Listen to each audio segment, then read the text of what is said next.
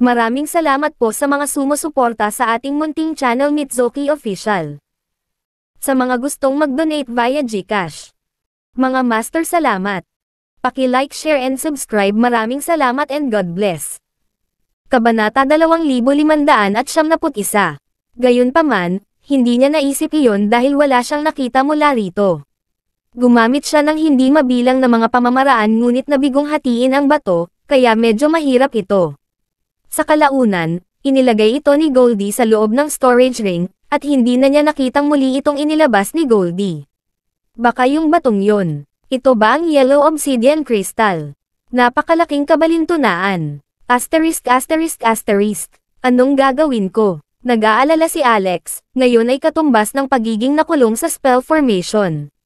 Siya ay lilipulin sa sandaling siya ay lumabas pinananatili niya ang kanyang kapangyarihan sa kaluluwa sa 10% sa lahat ng oras. Gayunpaman, higit sa isang daang tao ang agad na lumabas sa spell formation. Lahat sila ay mga tri-A-list ng Galaxy Nova na ipinatawag ni Baton. Iyong kamahalan. Kamahalan, maaari ba naming malaman ang dahilan ng aming agarang pagpapatawag? Ang mga tri-A-list ay sobrang magalang at magalang kay Baton na halos lumuhad sila at sumaludo sa kanya. Nagulat si Alex sa mga salitang iyon. Ang bastard na ito ay isang prinsipe ng isang bansa. Sa sandaling ito, ang grupo ng mga tao sa labas ay nagsanib puwersa at baliw na binomba ang pagbuo ng spell. Inatake ito ng lahat ng may napakalaking aura. Medyo kinabahan si Alex, sa takot na talagang masira ang spell formation. Pagdating ng panahon, sasalubungin niya ang kanyang pagkamatay nang hindi nalalaman ang sanhi ng kamatayan sa harap ng napakaraming eksperto mula sa Galaxy Nova. Sa kabutihang palad, ang pagbuo ng spell na ito ay napaka-stable. Hindi lamang ito nagtataglay ng sarili nitong enerhiya, ngunit ang pinakamahalaga, ang mga flag ng formation ay maaaring aktibong makipag-ugnayan sa kakanyahan at kapangyarihan ng mga batas ng Earth at isama ang mga enerhiya na iyon sa pagbuo ng spell at mga flag ng pagbuo. Sa katunayan, ang kanilang galit na galit na pag-atake ngayon ay kinain ang nakapalibot na espiritual na enerhiya ng mundo. Inatake nila ito ng matagal. Ikanaway ni Baton ang kanyang kamay. Tumigil ka. Ito ay walang silbi. Ang kakanyahan ng Earth ay napakalaki at sobrang siksik. Hindi natin masisira ang spell formation na ito hanggat hindi pa naaalis ang earth essence ng lugar na ito. Lumingon siya sa iba pang mga scheme. Sigaw niya sa labas para sabihin kay Alex na pupunta sila ng mga kasama niya. Pagdating ng panahon, huhulihin nila ang mga taong iyon at balatan ng buhay para makalabas siya. Kaagad pagkatapos, nakita na lang ni Alex na umalis ang mga taong iyon. Nakakuha siya ng ilang impormasyon mula kay Prinsipe Baton na huhulihin nila ang Mystic Maiden at ang iba pa habang nasa daan. Bastards! Pagmumura ni Alex sa kanyang puso. Galit na galit siya. Sila ay tunay na kasuklam-suklam at walang hiya. Sa kanyang pagtataka, ang mga mararangal na eksperto ay talagang gagawa ng mga immoral na gawain. Gayunpaman, ang Mystic Maiden, na ang katawan ay pinaghihigpitan, ay may mababang antas ng cultivation, at ang kanyang lakas sa pakikipaglaban ay hindi pa rin makakapantay para sa kanya. Higit sa lahat, tiyak na nag-aalala siya tungkol sa kanya, dahil nararamdaman niyang papalapit siya. Sa makatuwid, magiging miserable siya kapag nakatagpo niya ang kawan ng mga tri-A-list mula sa Galaxy Nova. Di ako pwedeng manatili dito. Kailangan kong ipaalam sa kanya. Matapos mag-isip ng ilang sandali, Binalak ni Alex na iwan ang 24 na formation flag at palihim na tumakas upang hanapin ang Mystic Maiden. Ginawa lang niya ang anumang naisip niya pitik niya ang kanyang mga daliri upang baguhin ang posisyon ng mga flag ng formation at palawakin ang lugar ng mga epekto para sa pagbuo ng spell. Sa isang iglap, naramdaman ito ni Baton at nagmamadaling umatras. Noon na-activate ng handang-handa na si Alex ang isa pang laban ng malayo ang instant teleportation at tahimik na umalis sa spell formation, humahabol sa direksyon kung saan matatagpuan ang Mystic Maiden. Hindi nagtagal, napansin niyang may dalawang grupo ng mga tao sa daan na patungo sa iisang lokasyon. Halos makumpirma niya na makakaharap niya sila. Inactivate ni Alex ang Divine Eyes at tumingin sa direksyon ng Mystic Maiden, para lang malaman na hindi nag-iisa si Mystic Maiden. Maging ang Immortal Bird at Luna Freya ay naroon. Hindi sila umalis, kaya tataas ang bilang ng mga target. Agad na naunawaan ni Alex ang intensyon ng Mystic Maiden. Hindi nila alam ni Alex ang lugar na gustong puntahan ni Daya at kailangan umasa sa Immortal Bird o Luneth Mueller. Dahil sa pakiramdam na hindi siya ligtas sa Immortal Bird, isinama niya rin si Luneth. Gayunpaman, malinaw na pinalaki nito ang kanilang mga pagkakataon na malantad. Hindi ko kayang harapin ang D asterisk man prince na iyon ngayon. Ngunit hindi ako dapat magkaroon ng mga isyo sa pagpatay ng ilang mga kampan, tama. Bagamat nawalan siya ng 70% ng kanyang kapangyarihan sa kaluluwa, ang kanyang lakas ay tumaas ng malaki, at ang kanyang kapangyarihan sa kaluluwa ay naging hindi bababa sa lima o anim na beses na mas malakas mula sa transcendence sa pagkumpleto ng 3,000 gintong core kanina. Kung kalkulahin niya iyon, ang kanyang lakas ay hindi gaanong naiiba sa bago ang pag-upgrade. Isinuot ni Alex ang outfit ng isang Galaxy Nova Tri-A-list at mabilis na naghalo. Kabanata 2572 Peter Patter Bumuhos ang ulan sa malago na kagubatan na may kasamang kidlat at kulog sa di kalayuan. Pambihirang madilim ang kalangitan, na lubhang nabawasan ang visibility. Hoy, guys, hintayin mo ako. Tumakbo si Alex at binati ang mga tao sa likuran, nagsasalita ng wikang Galaxy Nova dahil suot na niya ang damit ng isang pagsubok sa Galaxy Nova.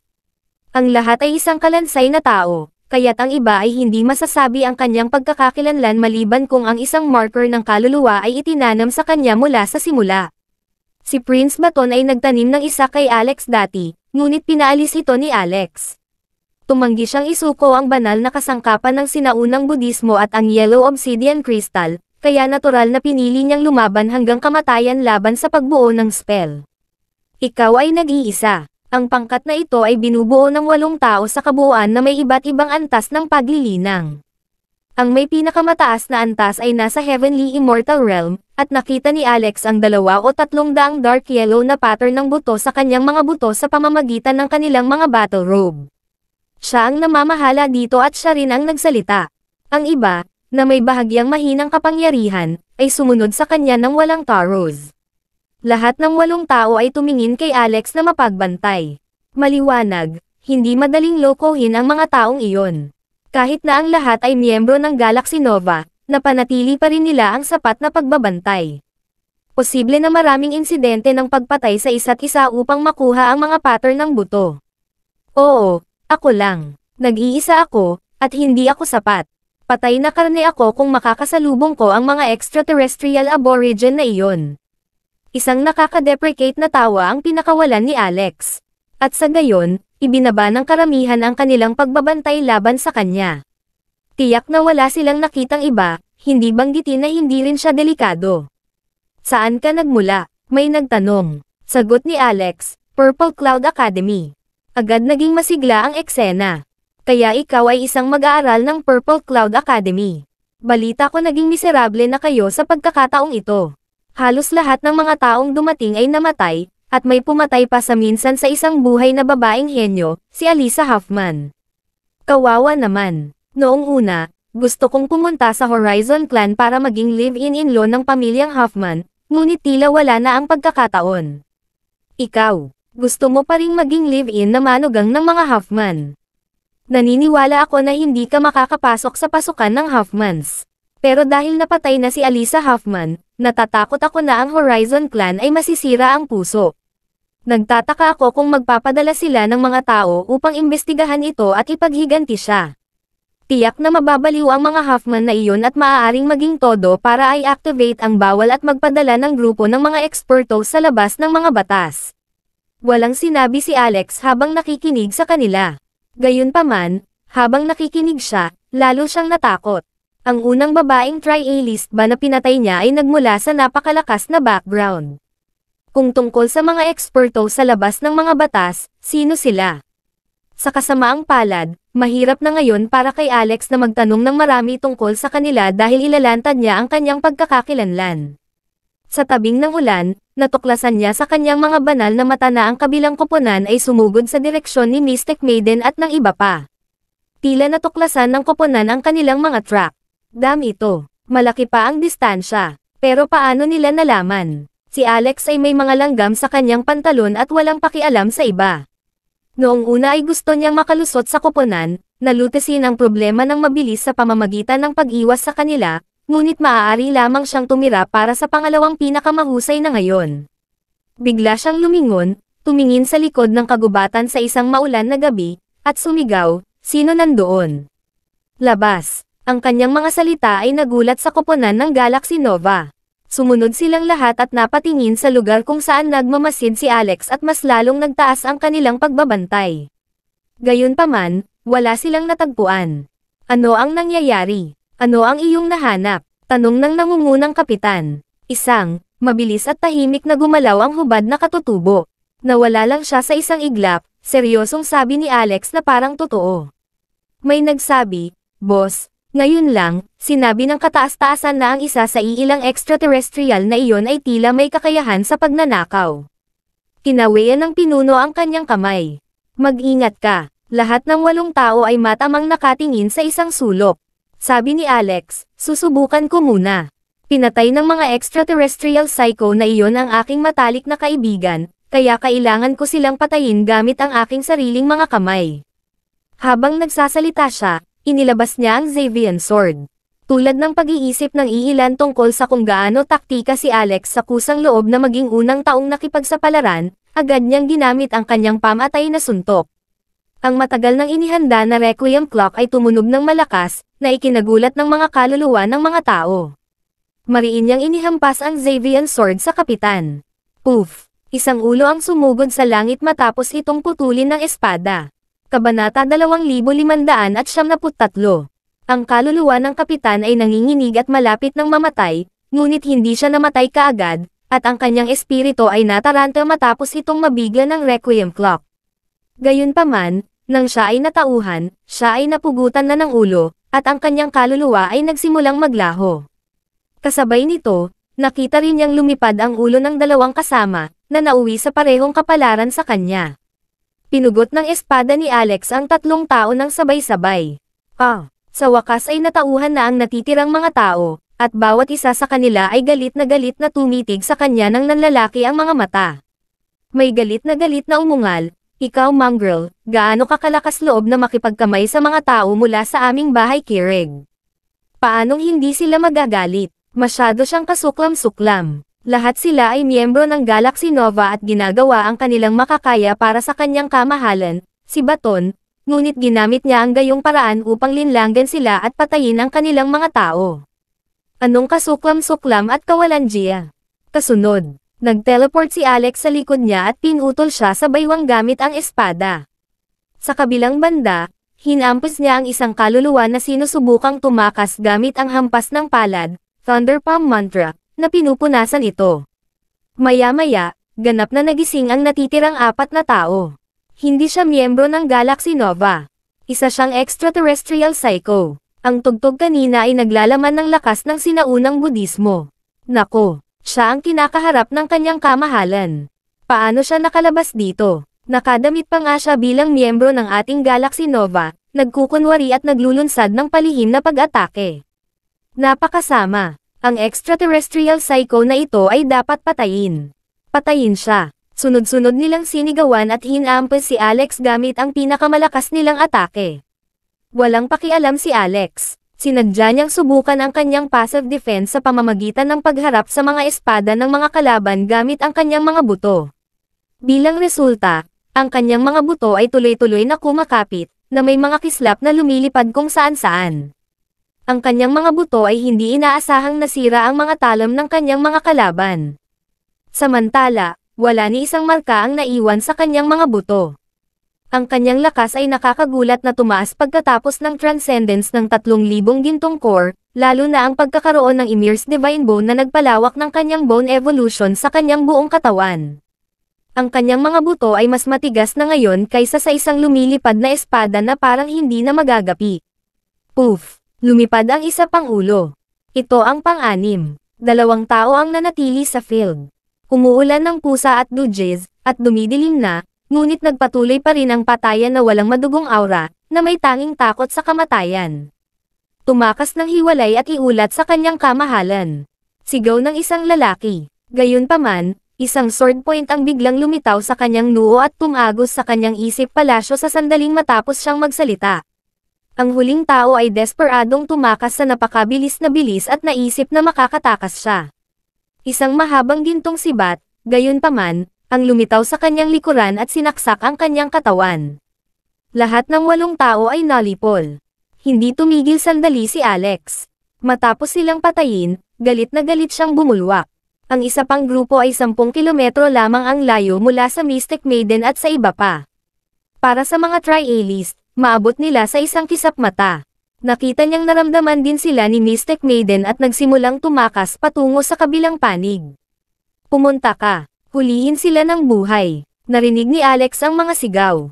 Mas marami sa grupong ito, na may kabuuang labintatlong tao. Kung susugurin silang lahat, tiyak na mahuhuli si Mystic Maiden at ang iba pa. Natakot din si Alex sa mga epekto pagkatapos kumilos laban sa kanila. Ah, napaungol si Alex sa wika ng Galaxy Nova, Narito ang extraterrestrial psycho.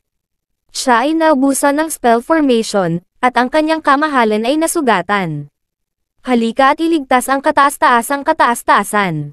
Sa isang maulan na gabi, nabangga niya ang grupo ng mga trialist ng Galaxy Nova habang natitised sa kanyang mga yapak. Ano, nasugatan ba ang kamahalan? Nasaan na siya? Sa bagyo, naglunsad si Alex ng preemptive strike bago pa man matukoy ng grupo ang tama sa mali.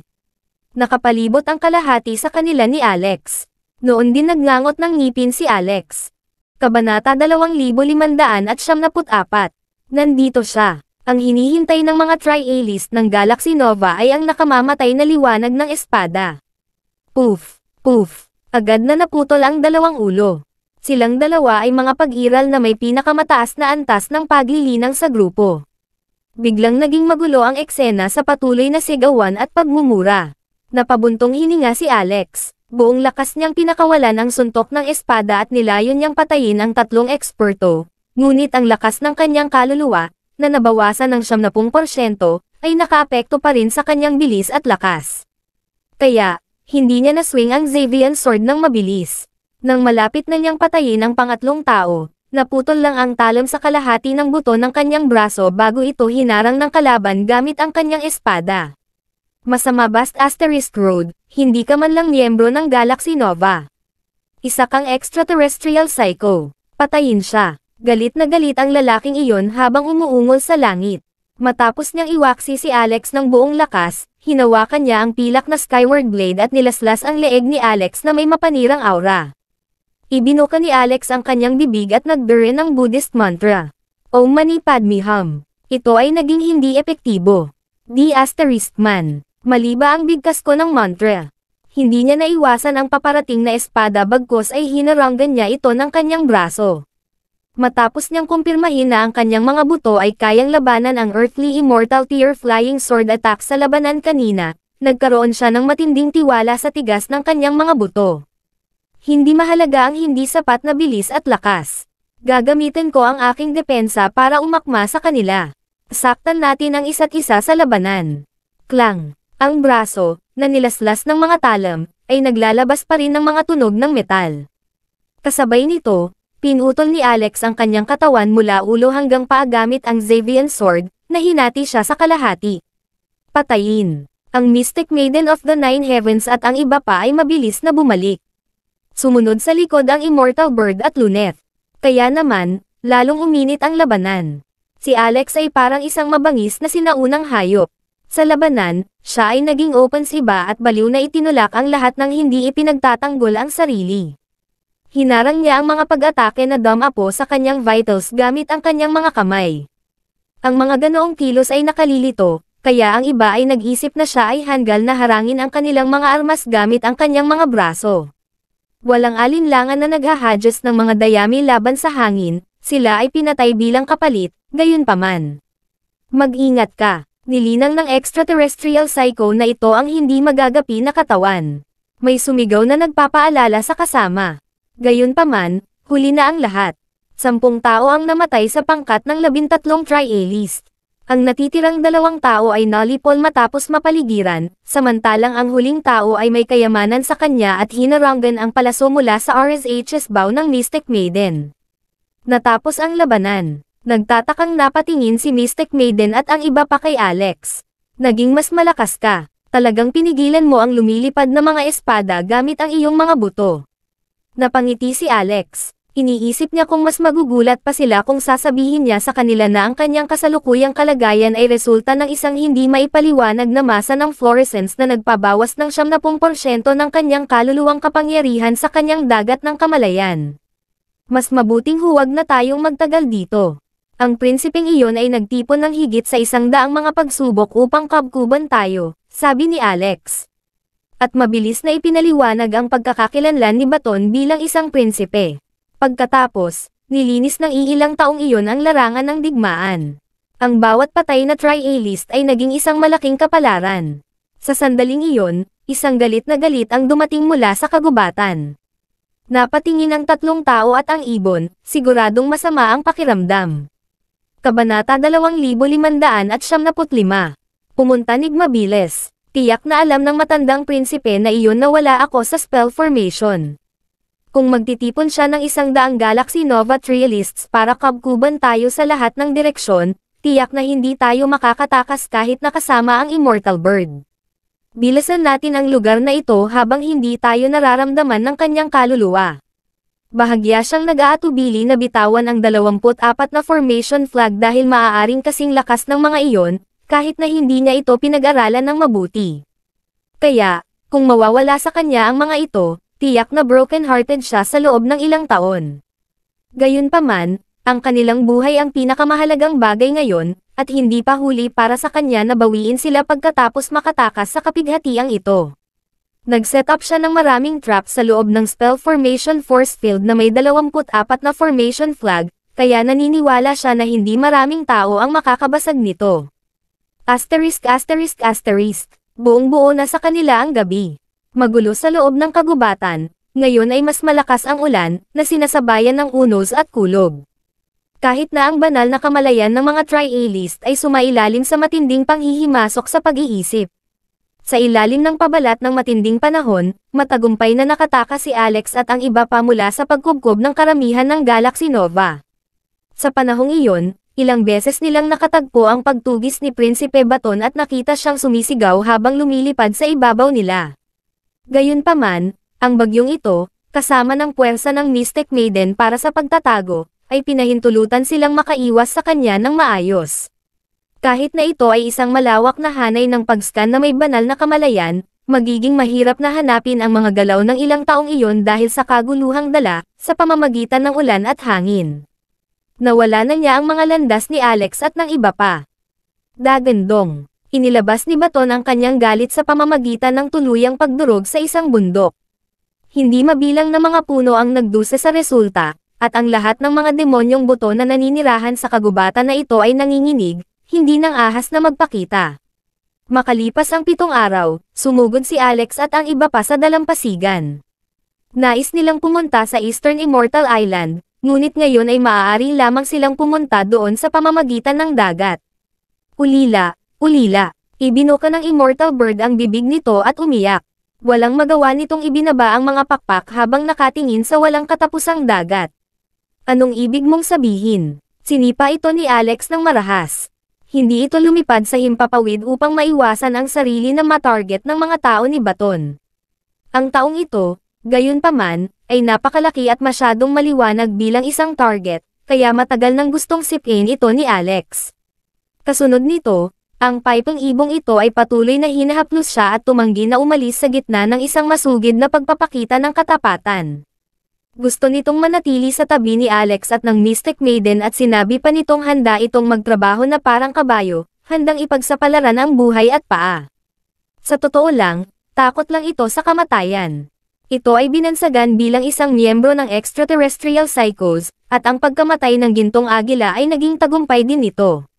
Sa makatuwid, hindi ito bibitawan ng mga miyembro ng Galaxy Nova hahabulin nila ito kahit na ito ay pamilya o kaibigan ng Golden Eagle.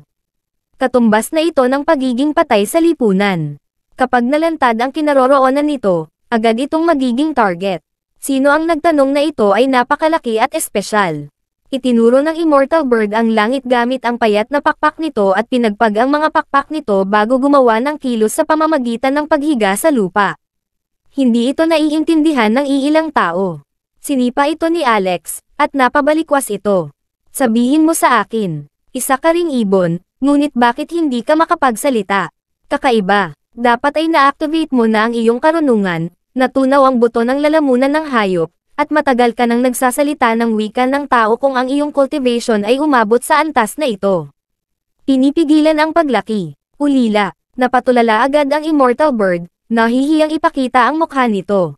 Ibinaba nito ang ulo at nanatiling tahimik. Sa sandaling ito, tumangala si Lunet sa langit sa likuran. Pinaalalahanan niya ang karamihan na bigyang pansin ng isang estranghero na lumitaw sa kalangitan. Sa unang tingin, ito pala ay isang puting Pegasus. Sa malapit na inspeksyon, ang Pegasus na ito ay mukhang kakaiba dahil ito ay, nakakagulat, hindi lahat ng buto ngunit may kumpletong hitsura. Ito ay tila isang buhay na Pegasus na may isang pares ng malalapad at puting pakpak. Gayunpaman, Naunawaan ito ni Alex pagkatapos ng isa pang masusing pagtingin. Ang Pegasus ay hindi nagtataglay ng parehong kakayahan bilang baton ngunit sa halip ay isang walang buhay na nilalang nagawa sa isang kahoy. Ito ay isang lumilipad na kahoy na kabayo. Nakaupo sa kahoy na kabayo ang isang babaeng nakasuot ng itim na damit. Ang pinakanakakagulat ay ang ginang na may hawak na lubod sa kanyang kamay at isa pang ginang na nakatali sa kabilang dulo, na nakabitin sa itaas ng langit.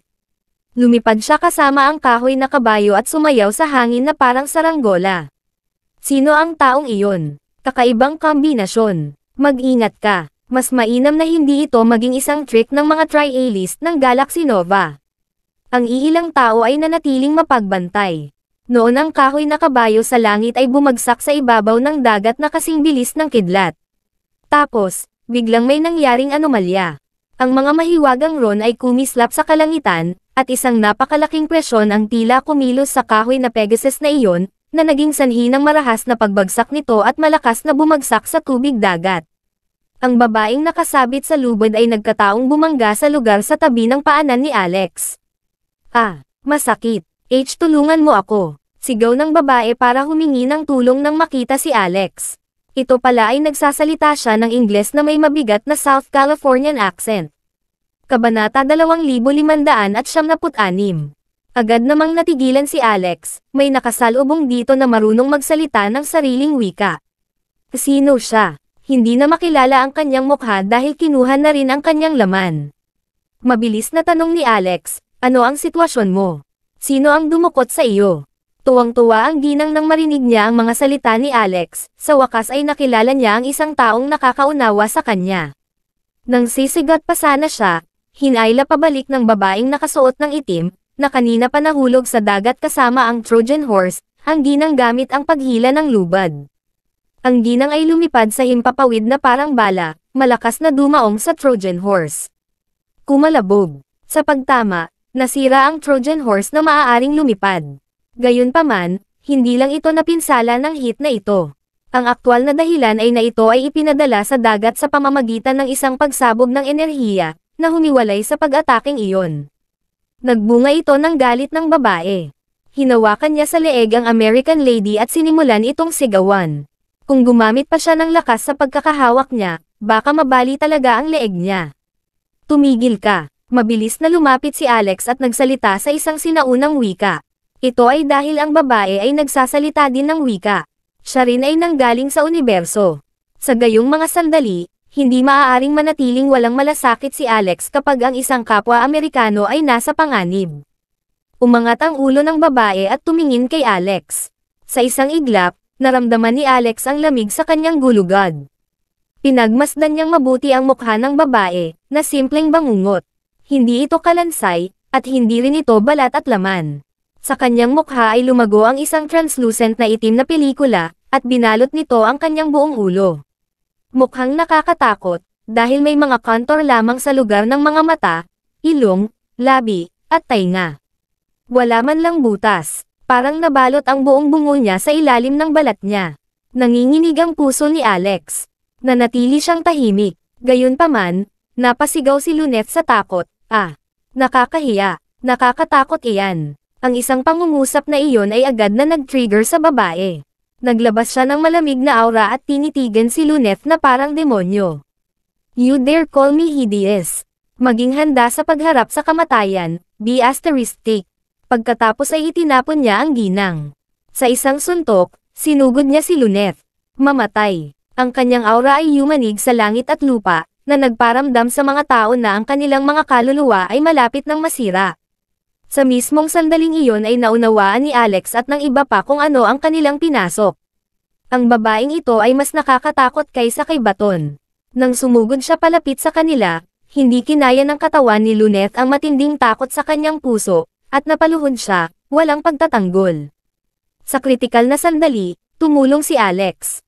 Ang Aegis Shield ni Medusa ay lumitaw sa kanyang kamay habang siya ay sumugod patungo sa babae, na nakaharap sa kanyang pag-atake ng diretsyo. Emph, ikaw ang nagtanong. Ngumuso ang babae, punong-puno ng panghahamak ang boses. Malakas na dama po ang suntok sa kalasag. Org, isang malakas na sigaw ang nagmula sa kalasag. Ito ay isang uri ng mental na hiyaw na maaaring tumama sa malalim na dulo ng kaluluwa ng isang tao. Ang babae ay nagpakawala ng isang mabangis na pag-atake, na nagbabalak na basagin ang kalasag at patayin si Alex. Sa kasamaang palad, siya ay nabigo. Ang kakaibang mukhang kalasag na ito ay nanatiling hindi nasaktan. Pinakamahalaga, isang mukha ang lumitaw sa kalasag, na nabubuhay. Ano ito? Ito ba ay isang demonyong kasangkapan? Panay ang tingin ng babae sa kalasag. Pagkatapos ay nakita niya sa sarili niyang mga mata, ang isang babaeng may mga ahas para sa buhok na nagbubukas ng kanyang mga mata. Nagsimula na ang petrification. Nakita ng sariling mga mata ni Alex kung paanong unti-unting masama ang pakiramdam ng babae. Siya ay naapektuhan ng kalasag, unti-unting nagiging bato. Tuwang-tuwa, minahal ni Alex ang kalasag ngayon ng higit kailanman. Kasabay nito, umatake siya gamit ang Xavian Sword. Boom! Ngunit hindi nakuha ng The Xavian Sword, tumawid ito sa ulo ng babae at marahas na hiniwa pababa sa dagat, kung saan bumuhos ang napakalaking haligi ng tubig sa hangin. Naalis ang malalawak na lupain sa dalampasigan. Isang sampung metro ang haba at dosenang metro ang lapad na channel ng enerhiya na nakaunat patungo sa malalim na dulo ng dagat. Parang nahati sa dalawa ang abot tanaw. Kabanata 2577 Mukhang nabigo ang pag-atake. Napagtanto ni Alex na minamaliit niya ang babaeng nakasuot ng itim. Makaka-recover ba siya mula sa nagyayelong tingin ni Medusa sa napakaikling panahon? Sa sumunod na segundo, nagkaroon ng malakas na pagsabog. Ang Mystic Maiden ay nagpaputok ng busog ni Arash, ang palaso, diretsyong tumama sa dibdib ng babae at sumabog. Nang maalis ang mga labi, nakita nilang napunit ang itim na blusa ng babae. Isang butas na kasing laki ng mangkok ang lumitaw sa kanyang dibdib, na nagpapakita ng singed, alkaitran itim na laman.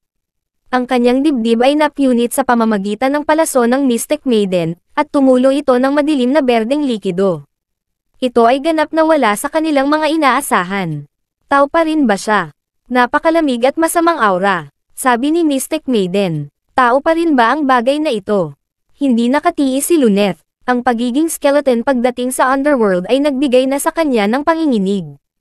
Gayunpaman, ang gayong kahindik-hindik sa harap ng kanyang mga mata ay lumampas sa antas ng kanyang pagtanggap. Hindi pa siya nakakita ng anumang kasuklam-suklam sa kanyang buhay. Kung ako ay magiging ganoong estado, mas gugustuhin kong mamatay. Pagkatapos ay mamatay, galit na galit ang babae at napaungol ng malakas. Agresibo niyang iwinagayway ang kanyang kamay at naghatid ng nakamamatay na tama na nagpalipad kay Alex at sa iba pa. Sigaw ni Luneth at Immortal Bird sa sakit. Ilang beses silang nag-somersault sa hangin at dumaong sa dagat. Halos mapuksa ng pag-atake ang kanilang mga kaluluwa. Hindi rin naging mabuti sina Alex at Mystic Maiden. Sila ay nakapulupot sa isang bola, ang kanilang mga sandata ay nabasag, habang ang kanilang mga tadyang ay naglalaban sa isa't isa. Arg, Masyadong maliit ang intercoastal space mo, natigil ako. Paano ko kasalanan iyon? Bakit ang kapal ng tadyang mo? Ano ang dapat nating gawin? Hindi ko mailabas. Gumamit ng kaunting puwersa, di asterisk man it. Natatakot akong mabali ang iyong mga buto. Sa pagtingin sa nakakatawang sitwasyon, bumantong hininga ang ginang na Amerikano. Dapat umalis na kayo. Wala kang pagkakataon laban sa kanya. Ikinalulungkot ko dahil dinadala kita ng problema. Reklamo ni Alex sa sarili. Di lang ito problema. Ito ay isang buhay at kamatayang sitwasyon. Diyos, napakabulag mo. Hindi mo ba nakikita na natigil kami dito? Maganda ang kalasag na ito. Sumenyas ang babae. Isang malakas na kapangyarihan ang kumilos sa kamay ni Alex, na ninakaw ng puwersa ang Aegis Shield ni Medusa. Pagkatapos ay inihagis niya ito sa kanyang kamay, kahit na binaliktad si Medusa at tinitigan ito pabalik ng kalahating nakabukas ang kanyang mga mata. Sa kabila ng matinding pagsikat ng kamatayan, hindi siya natakot, at walang bakas ng kanyang pagiging petrified. Kakatuwang tao, inihiwalay ni Alex ang sarili sa Mystic Maiden sa pamamagitan ng puwersa. Nabalian ng tadyang ang Mystic Maiden, ngunit malakas siya at hindi man lang napaungol sa sakit. Muli niyang ikinabot ang kanyang tadyang sa pamamagitan ng kamay at mabilis na gumaling na may mga pattern ng buto. Napatingin sa kanila ang babae at malamig na tumango. Talagang humihina ang mga pagsubok sa henerasyon. Niwala akong ganang kainin ka. With that, tumalikod siya at tumingin sa nakatali na American lady. Mukhang mas masarap ang kasama mo. Kung tatawagan mo siya, wala akong balak bigyan ka ng isa pang pagkakataon sa buhay.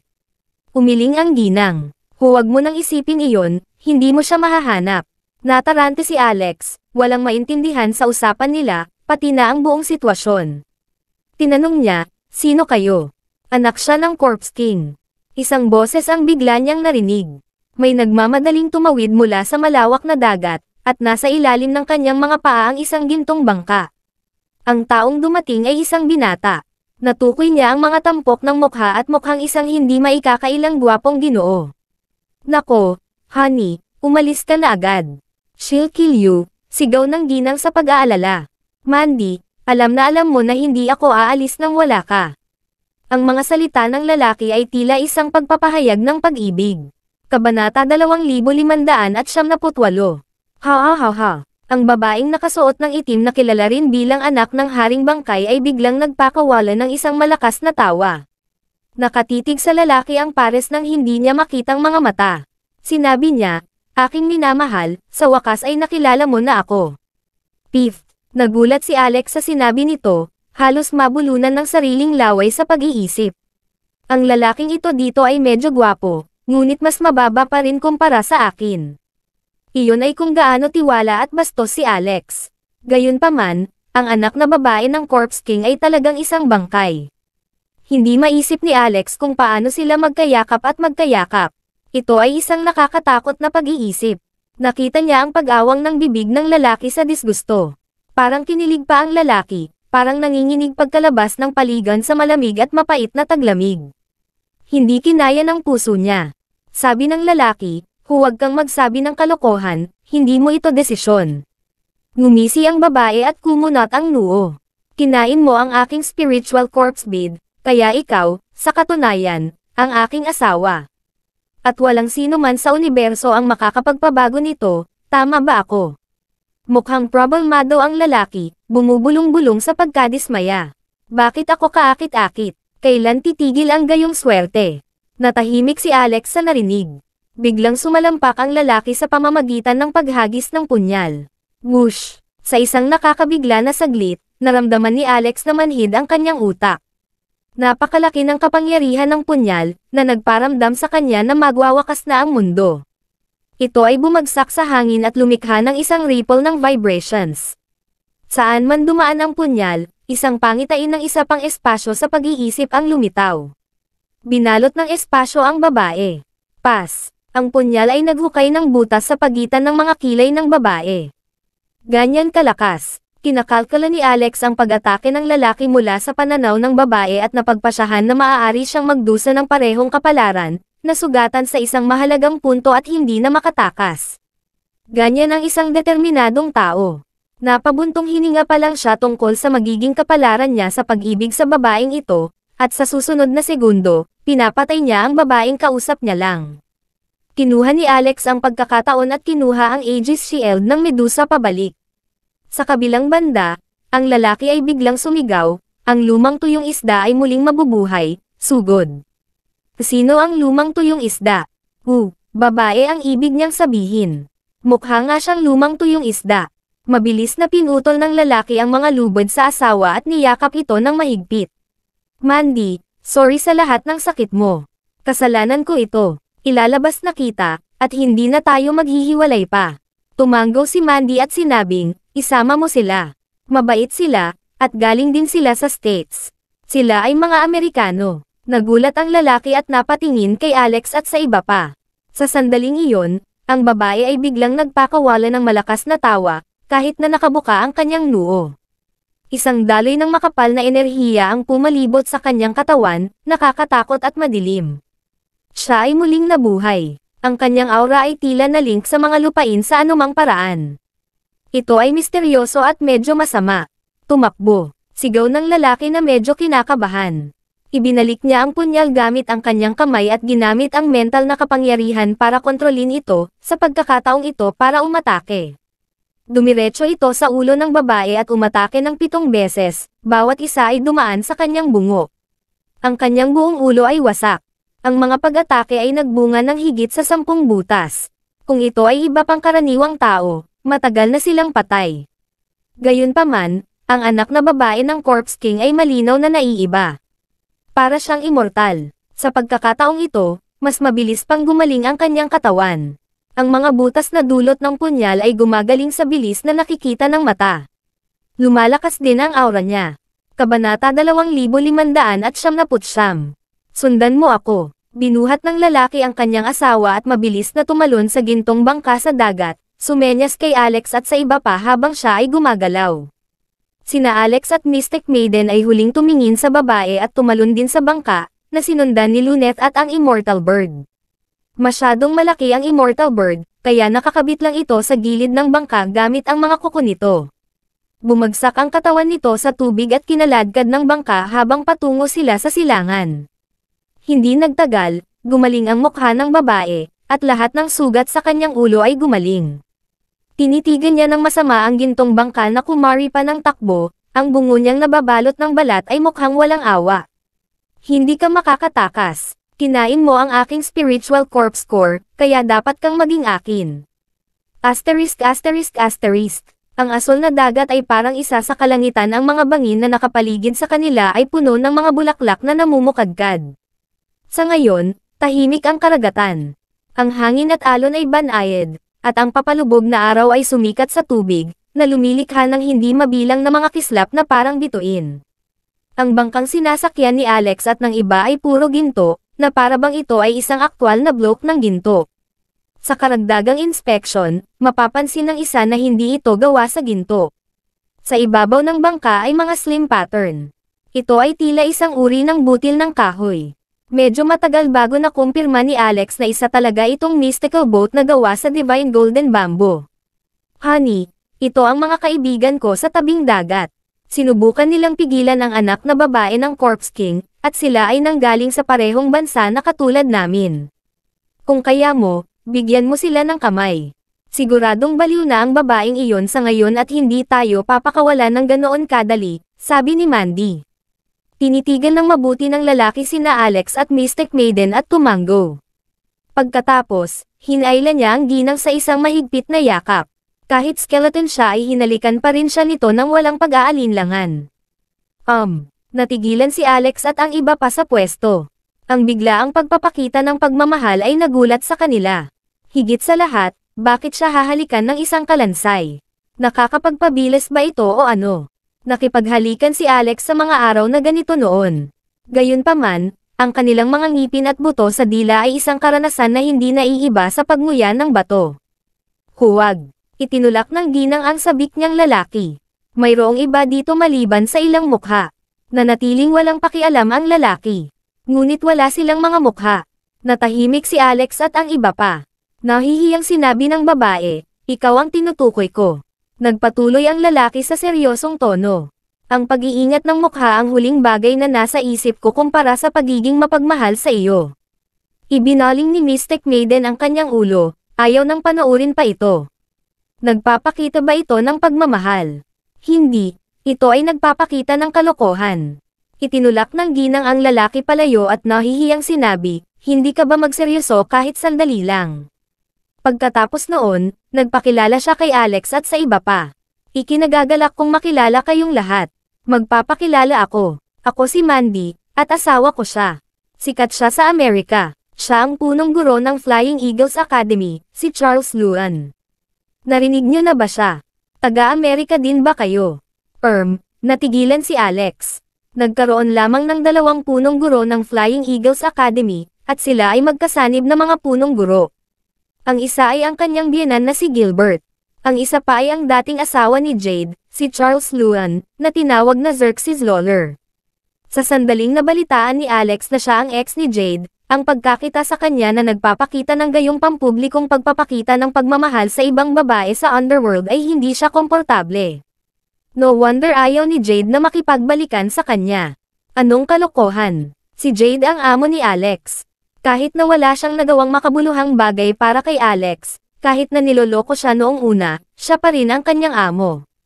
Higit sa lahat, napakaraming sakripisyo ni Jade para sa Amerika ipinagtanggol niya ang mga hangganan sa loob ng mga dekada na parang isang araw. Sobrang nirerespeto niya iyon. Si Jade ay isang maalamat na babae. Gayunpaman, may sumubok na akitin ang kanyang asawa habang pinoprotektahan ang bansa at nagtagumpay sa paggawa nito. Halatang hindi ito komportable kay Alex. Ito ang dahilan kung bakit diretsong kumilos si Alex. Ikaw. Si Mandy ay lubos na natigilan at hindi makapaniwalang tumingin kay Alex. Mapalad na nawalan siya ng laman, at hindi makita ng iba ang kanyang mukha, o kung hindi, ito ay isang kapana-panabik na ekspresyon. Don't talk nonsense. I'm not a mistress, she growled. Tiyak na pumanig si Principal Luan sa kanyang babae, nanlilisik si Alex. Wala kang alam, bata. Itigil ang pagsisinungaling, o hindi ko magagarantiya kung ano ang maaari kong gawin sa iyo. Nakilala na ni Alex si Xerxes noon, at nandoon din si Jade nang mangyari iyon. Niyakap pa ni Jade si Alex para lang pagselusan si Xerxes, at nagtagumpay siya. Sa sandaling iyon, inalis ni Alex ang kanyang sarili sa listahan ng mga jerk. Ito ay isang tipikal na double standard. Maaaring kumbansihin ni Alex ang sarili niyang pagtataksil, ngunit hindi iyon nangangahulugan na gagawin niya rin ito para sa ibang mga lalaki. Hindi nagtagal ay nagtanong si Mandy, kilala nyo ba ang isa't isa? Siyempre, ginagawa namin. Makikilala ko pa nga ang kanyang abo, gayon pa man, sinabi pa rin ni Alex, hindi ko siya kilala, pero parang narinig ko na siya. Asawa ni Commander Benmore, di ba? At hindi ka maaaring maging Commander Benmore, tama ba? Kailangan mong mag-ingat sa pakikipagrelasyon. Kinasusuklaman ang mga ginang, kaya pag-isipan mong mabuti. Kabanata 2600 Gayunpaman, sa sandaling ito, si Alex ay isang kalansay lamang. Kung hindi niya ipahayag ang kanyang pagkakakilanlan, hindi malalaman ni Xerxes na siya ay estudyante ni Jade. Para naman kay Xerxes, ibang-iba rin ang itsura niya sa realidad. Upang ilagay ito ng blanco, ang kanyang kasalukuyang hitsura ay hindi totoo. Siya ay isang kalansay lamang, ngunit tulad ni Baton, ang kanyang hitsura ay isang imahe na nalikha mula sa kapangyarihan ng kaluluwa. Hindi talaga close ang dalawa. Kung hindi pa sinabi ni Mandy sa kanila ang totoong pagkatao niya, hindi niya malalaman na siya si Principal Luan. Sa kabilang banda, talagang nagulat si Alex sa kapangyarihan ni Xerxes dahil hindi naman sila ganoon kalakas noon. Ano ang naging dahilan ng pagtaas nito? Ahem, hindi ako sigurado sa buong kwento, sa totoo lang. I had just heard some rumors by accident kung may nasabi akong mali, patawarin mo ako, sabi ni Alex. Dahil ang kanyang kapangyarihan ngayon ay hangin na ng 10%, maaari na lamang niyang bitawan ang isyo.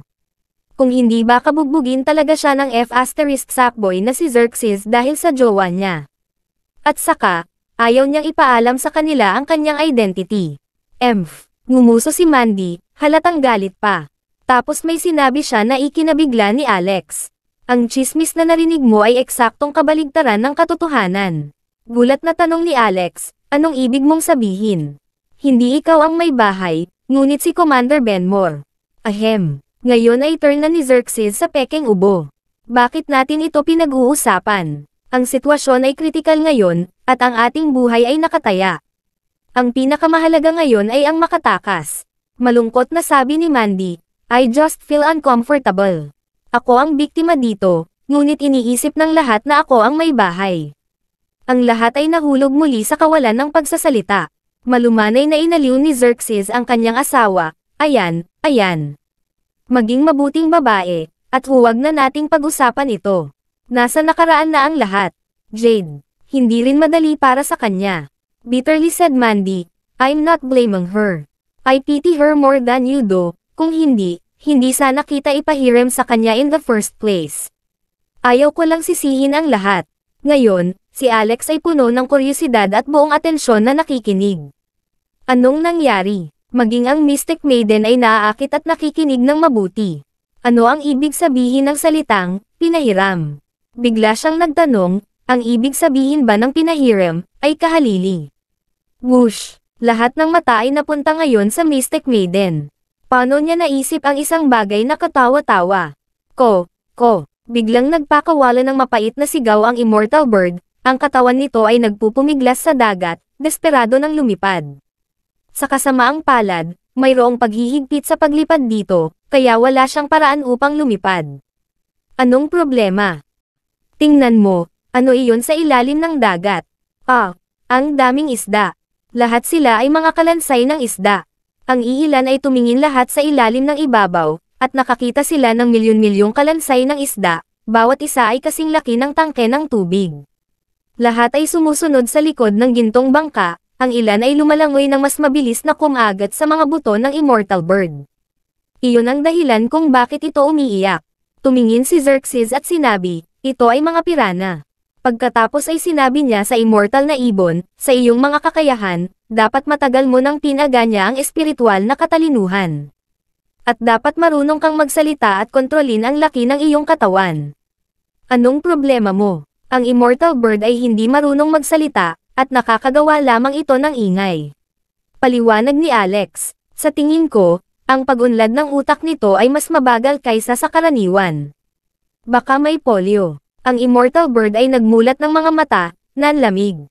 Pagkatapos nito, binilisan ni Xerxes ang bangka ng dalawang beses. Noon lang nila naalis ang mga kakaibang isda. Marahas din silang niyugyog ng immortal bird. Sa wakas ay nakapagpahinga na rin ito at pagod na nasubsob ang ulo sa bangka. Mapait itong tumingin kay Alex, na para bang hindi natutuwa sa pagbanggit ni Alex sa polio nito. Nagtanong si Mystic Maiden, ano ang nangyari sa anak ng Corpse King na iyon? Sabi ni Xerxes, siya. Yeah, hindi ko pa alam kung sino kayo. Paano ka nakapasok? Ayaw ibunyag ni Alex ang tunay niyang pagkatao, kaya nagsinungaling siya. Kasama namin ang Homan Technology. Pumasok kami dito dala ang Buddhist relic. Nakapagtataka, alam ni Xerxes ang tungkol sa kanila. Ang pamilyang Hancock. Tumango si Alex. Oo, ako si York Hancock. Ito ang kapatid kong si Lilith Hancock. Tungkol naman sa ibon, ngayon lang natin nakilala. Hindi nag-alinlangan sina Xerxes at Mandy sa kanyang mga salita. Ang katotohanan na binanggit ni Alex ang Homan Technology at ang affair rumor tungkol kay Commander Benson ay sapat na upang patunayan ang pagkakakilanlan ni Alex. Siya ay talagang isang tri-A-list mula sa Earth. Ipinaliwanag ni Xerxes, hindi ako sigurado kung nakapunta na kayo sa sinaunang lungsod sa Timog. Isang tropa ng mga bangkay ang lumitaw doon, ngunit sila ay talagang kinokontrol. Ang tao sa likod ng lahat ng ito ay Corpse King. Si Xerxes noon ay nakulong sa lungsod. Lahat ng labasan ay nakatatak na patay, at lahat ng nasa loob ay naging target ng mga sundalo. Walang makatakas. Sa wakas, nagpa siya si Xerxes na ipagsapalaran ang lahat ng mayroon siya. Sumilip siya sa puso ng lungsod at nakakita ng isang malaking libingan. Sa libingan, natagpuan niya ang anak na babae ng Corpse King. Hinablot siya bilang isang hostage, ginawa niyang buksan ng hari ang mga pintuan ng lungsod. Nakatakas siya at, kasabay nito, nagbigay ng pagkakataong mabuhay para sa iba pang natigil doon. Naantig si Alex, nangangahulugan ito na maaaring makatakas si Daya at ang iba pa sa sinaunang lungsod ng buhay dahil kay Xerxes. Bakit kanya tinawag na mahal niya? Inilabas mo siya sa libingan, at napagpasyahan niyang ikaw ang isa. At gusto mong magkaroon ng mga anak sa iyo. Naiinis si Xerxes. Nang inig siya sa kakaisip sa karumal-dumal na mukha ng babae, at ni hindi niya kayang isipin iyon. Sabi ni Mandy, nagpapantasya lang siya. Ang katotohanan na ang kanyang lalaki ay minamahal at pinuntirya ng isang kahindek-hindek na nilalang ang nagpagalit sa kanya. Sa sandaling iyon, ang mga kulay abong ulap ay dumagsa sa kalangitan sa itaas nila, at mabilis na lumaki ang tubig. Maaliwalas ang kalangitan ilang segundo lang ang nakalipas, ngunit biglang nagdilim. Bukod dito, naramdaman ng mga tripulante ang isang makapal na pakiramdam na may dumating na madilim na aura kasama ng bigla ang kulay abong ulap. Tingnan mo, parang may nasa loob ng ulap. Itinuro ni Lunet ang dumadagandong na ulap at malakas na binanggit. Natigilan ang lahat, may tao talaga. Hindi ba ito pinaghihigpit ang airspace? Hindi nagtagal, unti-unting naging malinaw ang mga silhouette sa gitna ng mga ulap. Una, lumitaw ang mga ulo, pagkatapos ay ang mga katawan. Kumilos sila ng magkakasabay gaya ng ginagawa ng mga sundalo. Mga tropa ng Corpse Kingdom. Si Principal Luan ay mukhang malungkot habang inilalabas ang mga salita. Sa sandaling iyon, sabay-sabay na sinabi ng mga sundalo, pagbati, aming prinsipe na asawa. Sumama ka sa amin. Kabanata 2602. Oh, fuck. Kumukulo sa galit si Xerxes habang nagmumura. Dumadagandong ang boses niya. Tinitigan ni Mystic Maiden ang madilim na ulap at telepatikong sinabi kay Alex, may mali, maging handa ka na umalis anumang oras. Sagot ni Alex, sige, bagamat si Principal Luan ay dating asawa ni Jade, maging ang mga mag-asawa ay tumatakas ng mag-isa kapag nasa panganib. Wala siyang magawa sa ganoong sitwasyon. Kung gusto ng tropa na si Principal Luan ang kanilang prince consort, maaari lang niyang ibigay sa kanila ang kanyang blessings. Sa itaas, ang kulay abong ulap ay naging mas makapal. Lumalakas din ang espiritu ng mga kawal, at umuungal ang mga tropa. Sa wakas, naging mas maliwanag ang kanilang imahe. Gumalaw ang dagat, at tumaas ang mga alon na may taas na 10-10 metro, dala ang bangka kasama nito. Ang malawak na tubig dagat ay gumagalaw na parang bukal na parang may kung anong kapangyarihan ang samalo sa bangka. Kalahati ng malaking katawan ng immortal bird ay nakabitin sa hangin mula sa haligi ng tubig. Galit na sinipal nito ang mga paa at napakapit sa bangka, takot na mahulog sa dagat at malunod. Pagbati, Prince Consort, naghihintay ang prinsesa, pakipasok sa sedan chair, Prince Consort. Halos maduraan ni Alex ang napakagandang serbisyo. Gaya ng inaasahan, kabilang sa tropa ng mga sundalo ang isang vintage red sedan chair. Pinalibutan ito at dinala ng mga sundalo. Inayos nila ito sa harapan at marahang inilagay sa ibabaw ng tubig. Mukhang napakabigat, ngunit ito ay balanse at matatag sa ibabaw ng dagat. May mga dragon at phoenix na nakaborde sa mga kurtina ng upuan ng sedan, mga imahe na kahawig ng pagdiriwang. Parang gusto nilang kusa na umupo sa upuan si Principal Luan. Nagpapanik si Mandy. Ito ang aking asawa. Paano ako makakasang-ayon dito? Honey, anong gagawin natin? Makatakas ba tayo? Natahimik si Xerxes. Nagsalita si Alex. Hindi mo kaya, espesyal ang mga sundalong ito. Hindi sila apektado ng mga paghihigpit dito, at maaari din nilang gamitin ang kapangyarihan ng batas. Mukhang sila ang mga diktador ng lugar na ito, maliban kong. Gamit ang kanyang divine eyes, may napansin siyang kakaiba. Ang mga sundalo ay may espiritual na marka at kinokontrol ng isang tao. Lahat sila ay napakalakas, bawat isa ay may lakas ng bodyguard ni Luneth. Sa sandaling magsimula ang labanan, ito ay isang bagay ng buhay at kamatayan. Ang mahalagang susi ay nasa sedan na upuan, ang mga sundalo ay kinokontrol ng isang bagay sa upuan. Nakaupo kaya ang anak na babae ng Corpse King sa loob ng upuan. Si Alex ay may pagdududa, ngunit ito ay isang espesyal na upuan, at hindi niya ito makita kahit na sa kanyang x-ray vision pakiramdam niya ay gusot siya ng kapangyarihan ng batas at madilim na kapaligiran na parang naipit siya ng mahigpit sa lugar na ito. Pinaramdam nito sa kanya na nakulong siya. Principal Luan, nakikita ko na ang prinsesa na ito ay taos puso at malalim ang pagmamahal sa iyo. Baka maging maalamat kayong mag-asawa. Bakit hindi ka nalang pumayag? Namula ang mukha ni Xerxes sa galit. Sobrang nakakahiya para sa isang lalaki na pumunta sa upuan, ngunit kung hindi niya ito gagawin, hindi malulutas ang isyo. Tumingin siya kay Alex, bakit hindi tayo gumawa ng deal? Sabi ni Alex, anong deal? Nagpakita ng malungkot na ekspresyon si Xerxes at sinabi, utang ko ito kay Mandy. Napunta lang siya dito dahil sa akin, at dahil doon, nagdusa lang siya. Dalawa lang ang pagpipilian sa sitwasyong ito. Una, ipagsapalaran natin ang lahat at lalaban. Nasa langit na ang desisyon kung mabubuhay tayo o mamamatay. Tahimik lang si Alex, hinihintay siyang magpatuloy.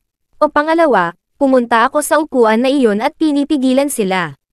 Bibigyan ka nitong lahat ng pagkakataong mabuhay, ngunit mayroon akong isang kondisyon. Tinuro ni Alex si Mandy. Ibig mong sabihin siya. Tumango si Xerxes. Agad na sinabi ni Mandy, I won't allow this. Mahal, kung tayo ay mabubuhay, tayo ay mabubuhay ng magkasama. At kung mamamatay tayo, mamamatay tayong magkasama. Umiling si Xerxes. Ito ang tadhana. Ang aking kapalaran ay magdusa sa pag-ibig at hindi kailanman makuha ang gusto ko mula sa isang kasal. Mandy, hindi ka maaaring mamatay. Kung mamatay ka, wala akong ganang makipaglaban para sa isang himala. Kailangan mong maniwala na nalampasan ko ang napakaraming hamon na dala ng pag-ibig. Hindi kukunin ng isang ito ang aking buhay. Babalik ako. Pagkatapos, maaari tayong magkaroon ng isa. Hindi, magkakaroon tayo ng maraming sanggol. Kabanata 2603 Hindi nakaimik si Alex. Ilang manliligaw mayroon siya. Gayunpaman, kung isasaalang-alang ang katotohanan na handa siyang ipagsapalaran ang kanyang sariling buhay, tinanggap ni Alex ang kanyang kahilingan. Sige, promise ko sa'yo na aalagaan ko siya. Hanggat, dahil may natitira pa akong subo na pagkain, hindi siya magugutom. Kung nais mong mabuhay ng mahabang buhay kasama ang prinsesa, pagkatapos ay tutulungan kita. Ma'am, huwag kang mag-alala. Natigilan si Xerxes. Buti na lang hindi nagsalita si Alex, nag-aalala lang ang mga salita niya. Sa sandaling iyon, ang isa sa mga commander ay bumaba mula sa madilim na ulap at tumayo sa tabi ng pulang upuan. Sinabi niya kay Xerxes sa malalim na boses, Consort, please step on the chair. Dumating na ang magandang panahon, at malapit nang umalis ang escort na tropa ng kasal. Sa ngayon, ang Principal Luan ay nasa bingit ng pagkasira. Galit na galit siyang umungol. Anong ibig mong sabihin, escort? Sino ang nobya dito? Matapat na sumagot ang komandante, ikaw. Hindi makatayo si Principal Luan, at halos mahimatay siya. Sinubukan niyang pakalmeyan ang sarili at sinabing, sige, sasakay na ako ngayon, pero dapat umalis ng ligtas ang mga kaibigan ko, kung hindi, hindi ako susuko. Mas gugustuhin kong labanan kayong lahat sa loob ng tatlong araw at tatlong gabi. Oo naman. Saad ng commander, saka itinuro si Alex. Maliban sa lalaking ito, ano ang sinabi mo? Natigilan si Alex. Tinuro niya ang sariling ilong. Ano ang gagawin mo sa akin? Ang mukha ng commander ay nababalot din ng manipis na patong ng laman, na mukhang nakakatakot. Isang malakas na tawa ang pinakawalan niya na tila isang karanasang bandido ng gabi. Wala kaming gusto sa iyo, ngunit hiniling ng prinsesa na sumunod ka. Pati si Alex, hindi na nakatiis. Don't tell me na gusto ng prinsesa mo ng dalawang asawa. Ang pag-iisip sa kanyang kahindek-hindek na mukha ay talagang magdudulot ng mga bangungot. Ang commander ay tila nakakatawa.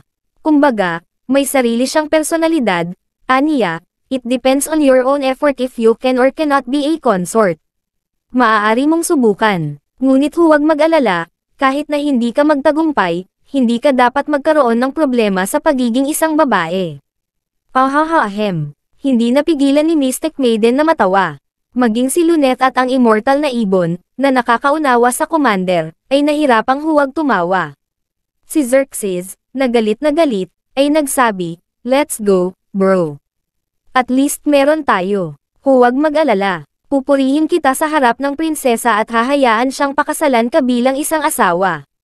Galit na tinitigan siya ni Alex. Hindi naman kailangan iyon. Ang lugar ng asawa ay napagpasyahan na, at ito ay sa iyo. Ang taong matutulog sa prinsesa sa gabi ng kasal ay maaari lamang ikaw, at walang sino man ang maaaring palitan ka. At the most, pwede akong maging nurse ng anak mo pagkatapos.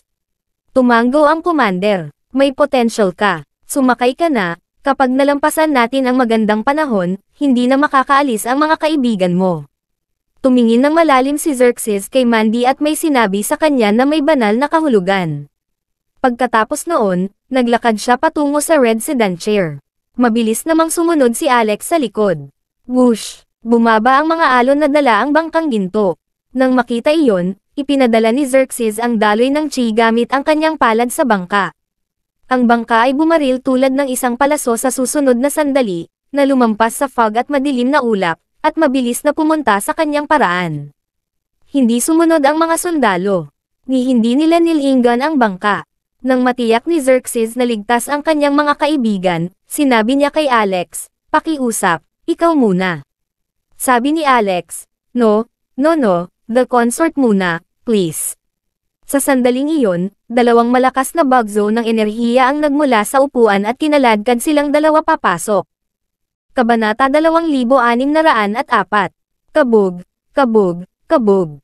Lumitaw ang walong bakal na kadena mula sa maligayang pulang sedan na upuan at itinali dito sina Alex at Xerxes. Pareho silang nagpupumiglas ngunit hindi makatakas. Kahit na ang kanilang mga kapangyarihan sa kaluluwa ay pinaghihigpitan. Fuck, galit na galit si Alex na nagmura. Ang buong sitwasyon ay nakakabigo sa kanya. Katatapos lang niyang makaalis sa gang ni Baton, ngunit ngayon ay nasa mas delikadong sitwasyon siya. Napakamalas noon. Nang makita si Alex na tumatangging sumuko at nagsisikap pa rin, sinabi ni Xerxes, huwag mong sayangin ang iyong lakas. Hindi ito mga regular na chain. Kung tama ang pagkakaalala ko, ito ay mga structured chain. Sila ay nabibilang sa mas mataas kaysa sa kapangyarihan ng batas.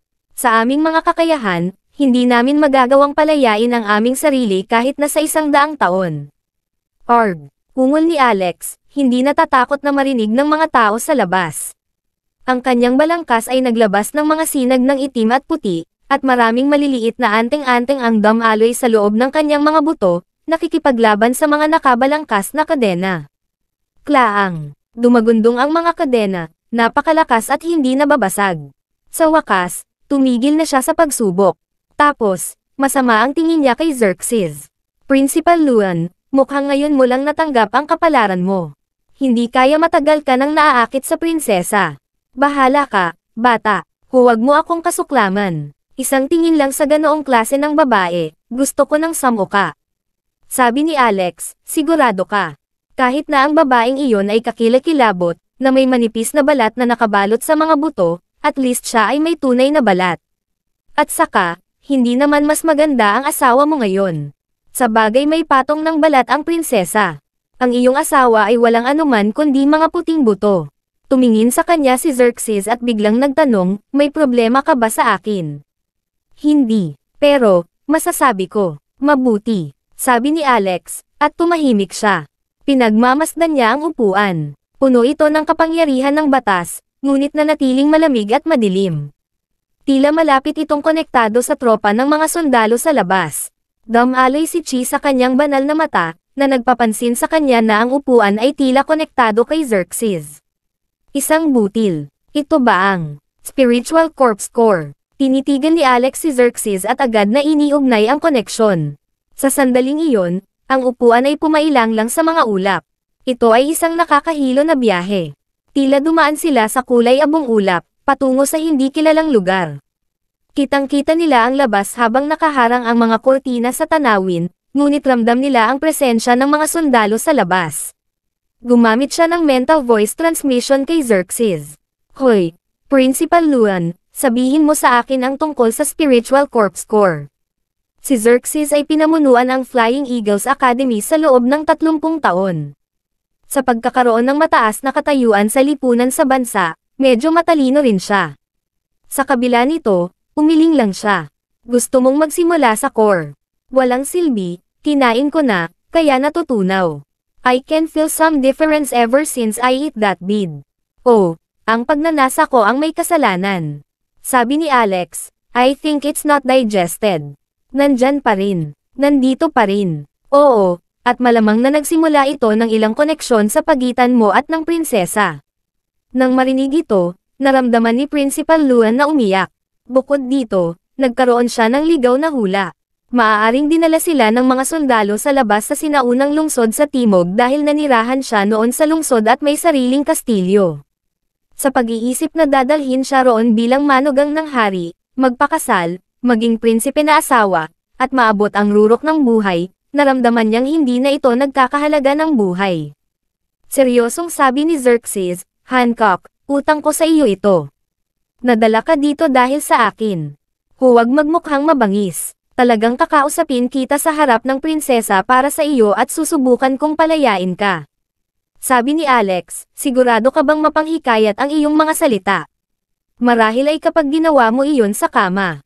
Napakagatlabi si Xerxes. Kung hindi ako, sino pa? Pero kailangan ko ng tulong mo sa isang bagay. Ibinuka ni Alex ang kanyang bibig, ngunit walang lumabas. Tulaga bang nagpaplano si Xerxes na matulog kasama ang prinsesa?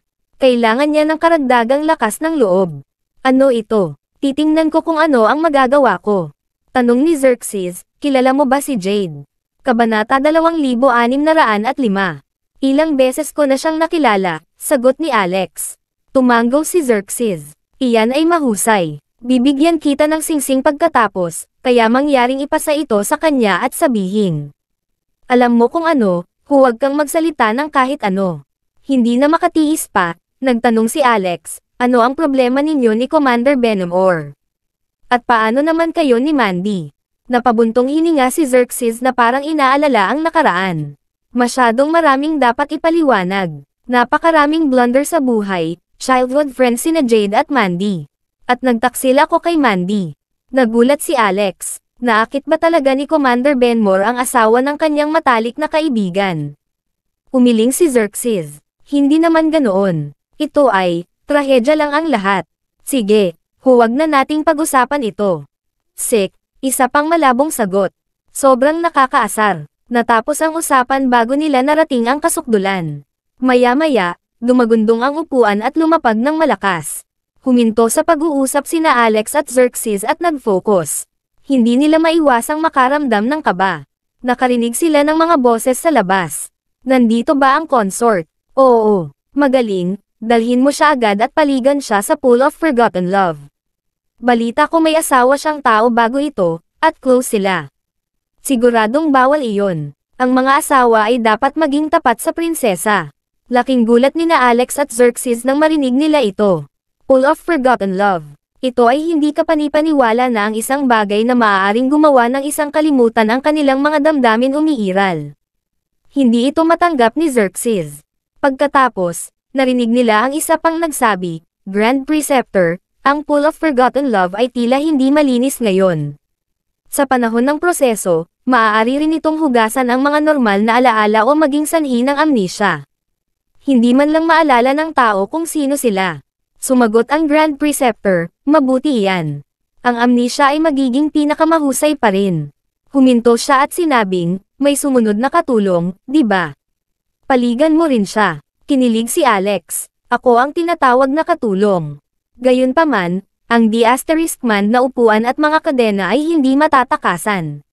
Malapit na siyang mag-breakdown. Principal, parang hindi ko maipasa ang regalo mo. Noon, hindi na natin maalala kung sino si Jade.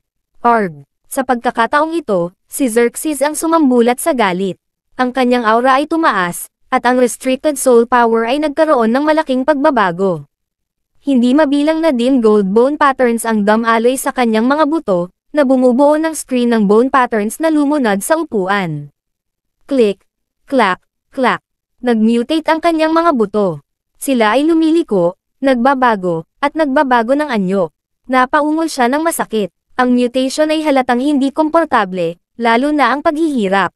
Ito ay tinatawag na dragonification. Talagang naging dragon si Principal Lerwan. Ang isang buhay na tao ay naging bone dragon, ang kanyang anyo, laman, at dugo ay nawala lahat. Napatulala si Alex. Gayunpaman, sa sandaling iyon, lumitaw ang isang maitim na balat na malaking kamay at yamakap sa leeg ni Xerxes, na nagambala sa kanyang dragonification. Lumapit ang isa pang kamay at hinawakan si Alex. Naputol ang mga kadena, at kinaladkad ang dalawa palabas. Nahuli sila ng isang sundalo na may taas na 8 metro sa kanyang mga kamay. Itapon mo sila sa pool. Splash! Sa sandaling iyon, isang pinong boses ang biglang tumunog sa tainga ni Alex. Ito talaga ang five-flavored tea of forgetfulness. Kahit ang langit ay nasa tabi ko. Kabanata 2606 Sina Alex at Xerxes ay parehong itinapon sa pool of forgotten love. Biglang nagkaroon ng enerhiya sa loob ng pool na maaaring masira ang kamalayan at memorya. Nakabalot tulad ng hindi mabilang na mga kamay, dinakman nito ang kanilang mga kaluluwa, pinaghiwa-hiwalay ang kanilang mga banal na koleksyon at tumagos sa kanila. Sakit, mga alulong, parang dinudurog ang mga kaluluwa. Matapos itapon ang dalawa sa pool of forgotten love, tumalikod at umalis ang bangkay na sundalo nang hindi man lang tumingin sa iba. Ang Grand Preceptor, o anumang tawag sa kanya, ay hindi rin nanatili sa pinangyarihan. Sa sandaling nasa pool of forgotten love, wala nang pag-ibig sa nakaraan. Let's go, at maghintay sa labas. Hindi komportable sa paligid ng ingay na ito.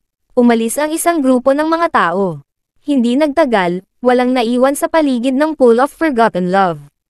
Hindi sila nag-alala sa pagtakas ng dalawang tao. Dahil nasa pool ng nakalimutang pag-ibig, hindi nila matutulungan ang kanilang sarili. Ang kanilang kamalayan ay nakulong at ang kanilang mga kaluluwa ay nakulong. Paano sila makakatakas? Walang paraan para makatakas. Napahiyaw si Xerxes at ginamit ang kanyang kakayahan upang labanan ang pagbuho ng enerhiya na ito, ngunit bigla niyang nalaman na hindi na sumisigaw si Alex. Kanina lang, Umiiyak din siya tulad niya, pero ngayon ay tumahimik na talaga siya na parang nawalan ng kaluluwa. Ano? Sobrang hina. Ilang segundo na lang, hindi na niya kayang suportahan ang sarili niya.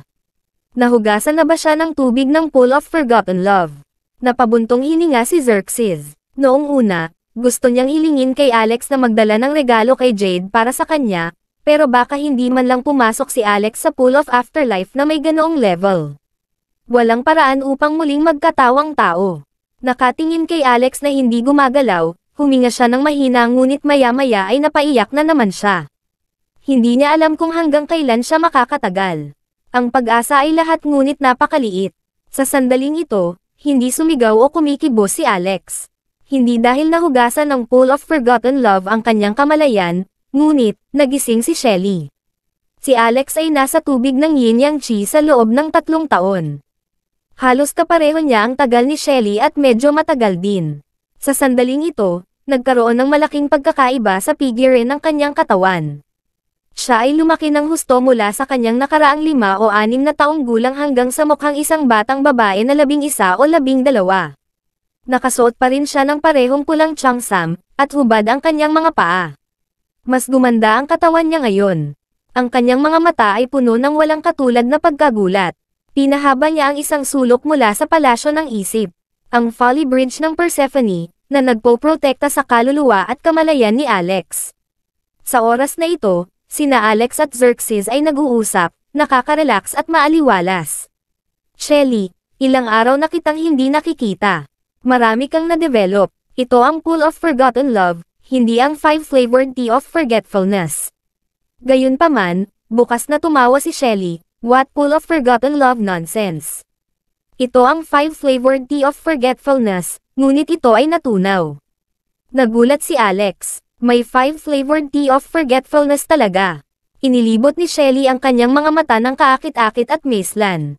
Sa isang kabataang likas na talino, sumagot siya, ito ang mundo ng mga patay, at ako ang tool spirit ng Persephone's Folly Bridge. Nagdududa ka ba talaga na may limang flavored tea of forgetfulness? Nasisiraan ka na ba ng loob? Pagkatapos ay ipinaliwanag niya na ang five-flavored tea of forgetfulness ay wala sa Netherworld kundi ang Persephone's Folly Bridge. Ang malaking jablo na iyon ay hinuhukay ang buong daigdig at nagmamadaling umakyat sa Persephone's Folly Bridge sa daan, kinuha ang malaking bakal na palayok ni Old Lady Meng, at nawala kasama ng five-flavored tea of forgetfulness. Sinubukan pa niyang agawin ang Persephone's Folly Bridge noon, Ngunit ang Persephone's Folly Bridge ay isang malaking killer na pag-aari ni Saitegarba, kaya walang sino man ang maaaring kumuha nito. 5 Flavored Tea of Forgetfulness original na pag-aari mo. Medyo nagulat si Alex. Bihira ba ito? Kung gayon, ikaw. Hindi si Old Lady Meng, di ba? Ha ha ha. Tumawa si Shelly, pabalik-balik. Paano ito posible? Walang Old Lady Meng, tanging itong malaking bakal na kaldero na gawa ni Old Lady Meng. Maaari itong sumipsap ng kapangyarihan ng batas, na lumilikha ng isang uri ng orihinal na likido ng daw na naghuhugas ng mga kasiyahan at alaala ng isang patay na kaluluwa. Ang kamalayan ng kaluluwa ay bumalik sa orihinal nito. Bilang memorya ng Old Lady Meng, ang orihinal na likidong ito ay tinatawag na Five Flavored Tea of Forgetfulness. Kabanata 2607 Talaga, Bakit parang gumagawa ka ng kwento? Ano bang meron sa akin kung magsisinungaling ako? Hindi na muling nagsalita si Shelly ngunit minanipyala niya ang Folly Bridge ni Persephone para maabsorb ang enerhiyang nilalaman ng five-flavored tea of forgetfulness. Nilamon niya ito. Natigilan si Alex. Ito ang orihinal na likido ng daw na maaaring maghugas ng mga alaala at kasiyahan ng kaluluwa. Hindi mo ba gusto ang iyong mga alaala dahil nilalamon mo pa rin ito ng napakabangis?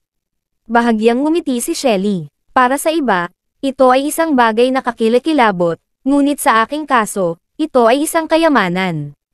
Ang five-flavored tea of forgetfulness ay katumbas ng espiritual na pagkain para sa Persephone's Folly Bridge, tulad ng car gasoline.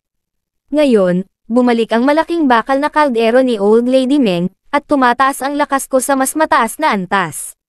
Patuloy siyang lumalamon habang nakikita ang kaluluwa ni Alex na nakatayo sa Persephone's Folly Bridge, tinitingnan ang kanyang sarili, na parabang nakatingin siya sa isang malaking tanga. Sa katunayan, ang pool ay hindi lamang nabasa ng katawan ni Alex ngunit mayroon ding umiiyak na si Xerxes. Siya ay lumamon ng napakalakas na parabang umiinom siya ng tubig na pampaligo, isang kakaibang kababalaghan. Okay na sabihin, kinalagkad din niya si Alex para sabay lunok. Banal na shit. Matapos lunokan ni Alex ang isang subo, natigilan siya. May mangyayari sa akin. Sinabi ni Shelly, Huwag kang mag-alala, ako ang iyong tagapagtanggol ng daw. Paano na lang ako magmamasid na may nangyayari sa iyo? Ang five-flavored tea of forgetfulness ay sinala ng aking Persephone's Folly Bridge. Magiging malaking pakinabang lamang ito sa iyo. Ito ay buhay na enerhiya lamang. Isang patak ang ginagawa kada daang taon. Ito ay isang malaking pambihira. Tamang-tama, naramdaman ni Alex na pagkatapos na pumasok ang enerhiya ng five-flavored tea of forgetfulness sa kanyang katawan, muling tumunog ang kanyang kaluluwa. Ang kanyang kapangyarihan sa kaluluwa ay bumubuti, at ang mga linya ng buto ay nag-i-evolve. Gayunpaman, hindi nagtagal ay nalaman niya na hindi na niya ito kaya, at ang ningning ng ulo ng palakol sa dagat ng kamalayan ay sumisipsip pa rin ang kanyang kapangyarihan sa kaluluwa. Gaano man karami ang idinagdag, ito ay nauwi sa ikasampung bahagi ng orihinal nito. Ang matandang asong ito ay talagang persigido. Walang magawa si Alex, ngunit pinangunahan ito ni Shelly. Kailangan niyang hayaan si Alex na lunukan itong five-flavored tea of forgetfulness. Ang dagat ng enerhiya ng daw ay bumuhos, bumabalot sa kaluluwa, nilunod siya, nang hindi siya binibigyan ng pagkakataong magsalita. Napatingin din siya kay Xerxes at napansin niyang manipis ang five-flavored tea of forgetfulness energy sa paligid niya. Kaya wala itong gaanong epekto. Gayunpaman, sa kanyang hitsura, dapat niyang labanan. Kaya naman, nakahinga siya ng maluwag. Lumipas ang oras sa kanila. Natagpuan niya na ang luminescence sa dagat ng kamalayan ay sumabog. Sigaw ni Alex, at agad na bumalik ang kanyang kaluluwa sa kanyang katawan mula sa Persephone's Folly Bridge. Ang fluorescence na nakabalot sa palakol ay ganap na sumabog. Nagulat si Xerxes at mabilis na kumilos para hawakan siya. Alex, isang malakas na tunog ang maririnig, at ang kanyang katawan ay tumilapon. Malakas siyang nontog sa pader, saka nahulog sa pool. What the hell? Paano napunta ang kaluluwa ng batang ito sa hindi maisip na antas? Nagulat si Xerxes sa kaibuturan. Sa sandaling hinawakan niya ang kamay ni Alex, ang kapangyarihan ng kanyang kaluluwa ay hindi matatag, na para bang masusunog at matutunaw. Kaagad pagkatapos, nakita niya ang isang mas hindi maisip na eksena, ang katawan ni Alex ay naging isang black hole, sinipsip ang lahat ng tubig sa five-flavored tea of forgetfulness na ito. Pagkatapos, binuksan niya ang kanyang mga mata at tumingin kay Xerxes. Ito, Alex, ang mga alaala mo. Nandyan pa ba sila? Kilala mo pa ba ako? Sumigaw si Alex, ang galing. Pagkatapos ay sinabi, Principal Xerxes, mangyaring gumawa ng paraan. Hindi alam ni Xerxes ang gagawin. Umalis siya na may kain na hinalang mukha. Dahil dito, nakita niya si Alex na naglabas ng espada at hinuhukay ang five-flavored tea of forgetfulness na iyon. Anong ginagawa niya? May balak ba siyang tapusin ang lahat? Kabanata 2608 Sinubukan ng espada ni Alex na kunin ang five-flavored tea of forgetfulness. Kung tutusin, si Old Lady Meng, na talagang naging mahirap na gawin. Gayunpaman, hindi si Alex ang talagang nagpapwersa, kundi si Shelly. Boom! Nagkaroon ng pagsabog. Itinaas ang malaking kalderong bakal. Sa ilalim, mayroon talagang isang bilog na ilalim ng palayok, at ito ay itim pa. Ito ay hindi isang pool sa lahat. Natigilan si Xerxes, hindi nakapagsalita ng mahabang panahon, at sa wakas ay itinuro ang kaldero at sinabing, bakit pakiramdam ko isa itong malaking bakal para sa pagsunog ng mga gulay. Swish! Ang malaking bakal na palayok ni Old Lady Meng ay nakolekta sa palasyo ng isip. Inalis talaga ito ni Shelly at naging bahagi ng Folly Bridge ng Persephone. Kakasabi lang ni Shelly kay Alex na ang pagbabalik ng malaking bakal na palayok ng Old Lady Meng ay nakompleto ang Persephone's Folly Bridge, at ang kapangyarihan nito ay tataas ng malaki. Sa oras na iyon, magagawa ng Persephone's Folly Bridge na kumpletuhin ang banal na koneksyon, ang Infernal Hell. Lahat ng nilalang na apektado ng Infernal Hell attack ay mawawalan ng kasiyahan at pagnanasa sa kagustuhan ni Alex. Napabuntong hininga si Alex. Ito ay talagang isang malaking palayok. Nakolekta mo ito. Tama. Ikaw. Hindi ka ba natatakot sa five-flavored tea of forgetfulness? Si Xerxes ay isang milyong beses na mas nagulat. Nasasaktan ako. Pag-usapan natin yan mamaya. Tumingin si Alex sa paligid at nalaman na ang espasyong ito ay nakaayos sa ilalim ng isang malakas na spell formation.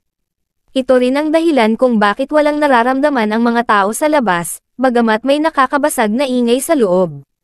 Gayunpaman, sa pormasyong ito, mahirap talunin si Alex. Principal Xerxes, hindi advisable na magtagal dito. Mamaya papasok na yang malaking tao, magkakagulo tayo, sabi ni Alex.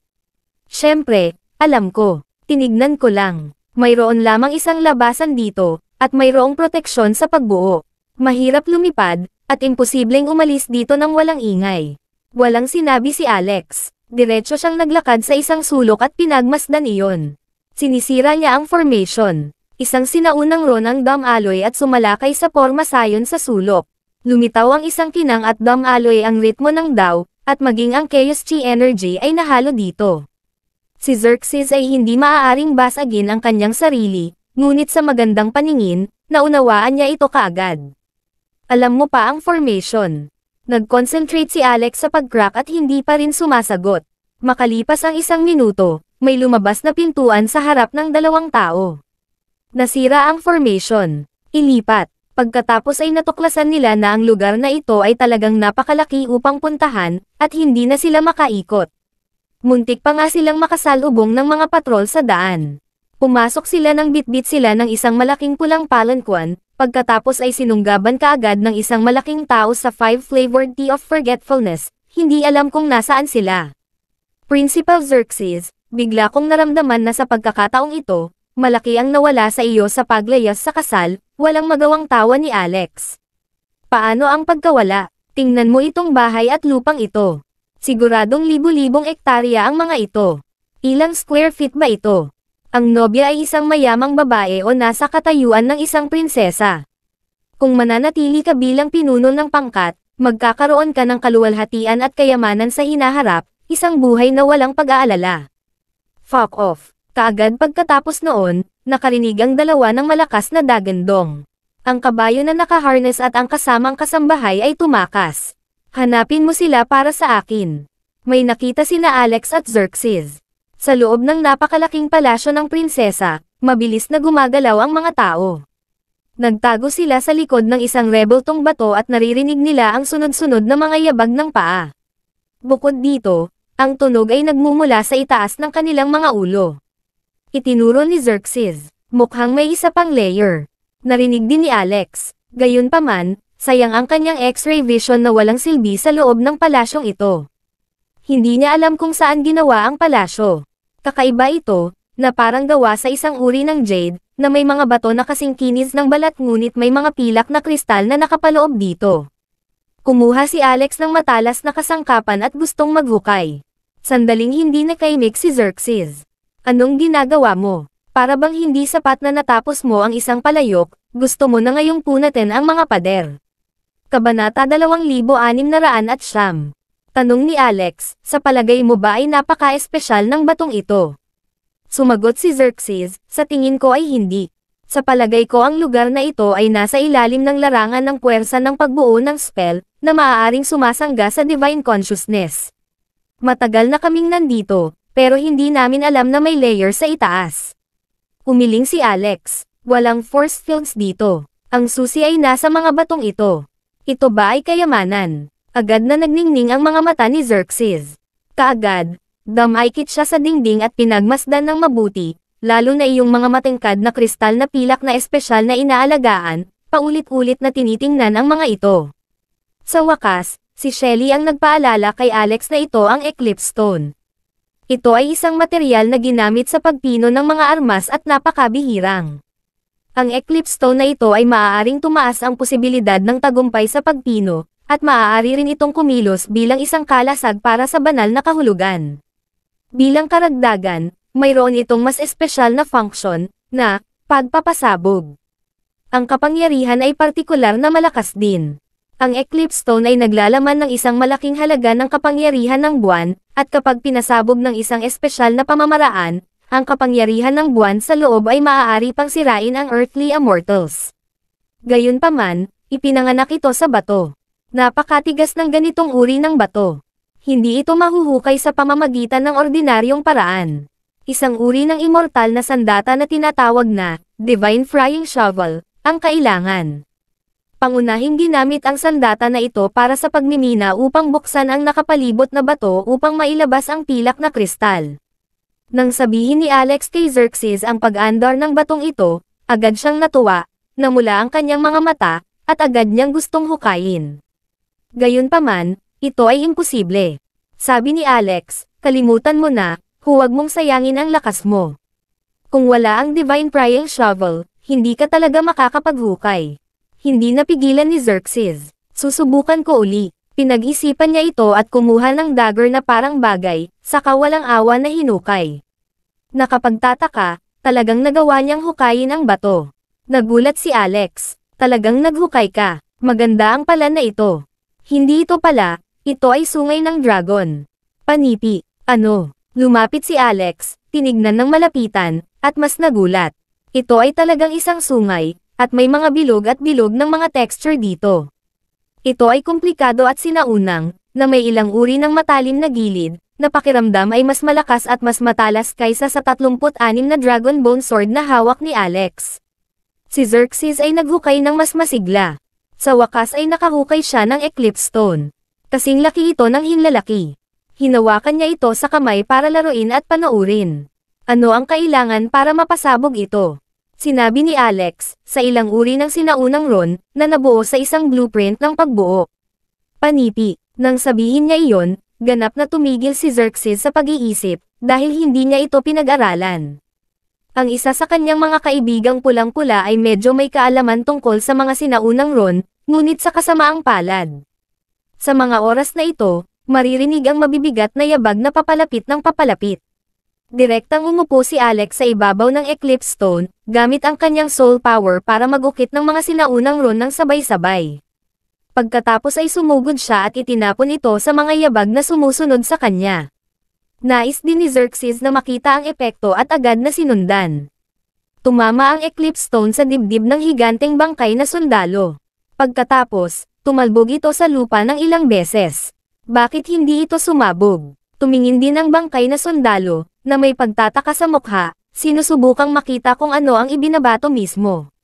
Bilang resulta, ang Eclipse Stone ay naglabas ng isang flash ng pilak na liwanag at sumabog ng marahas. Ang pilak na bola ng liwanag ay direktang bomb alot sa bangkay na kawal. Boom! Ang bangkay na sundalong ito ay agad na pinasabog hanggang dalawa o tatlong metro ang taas.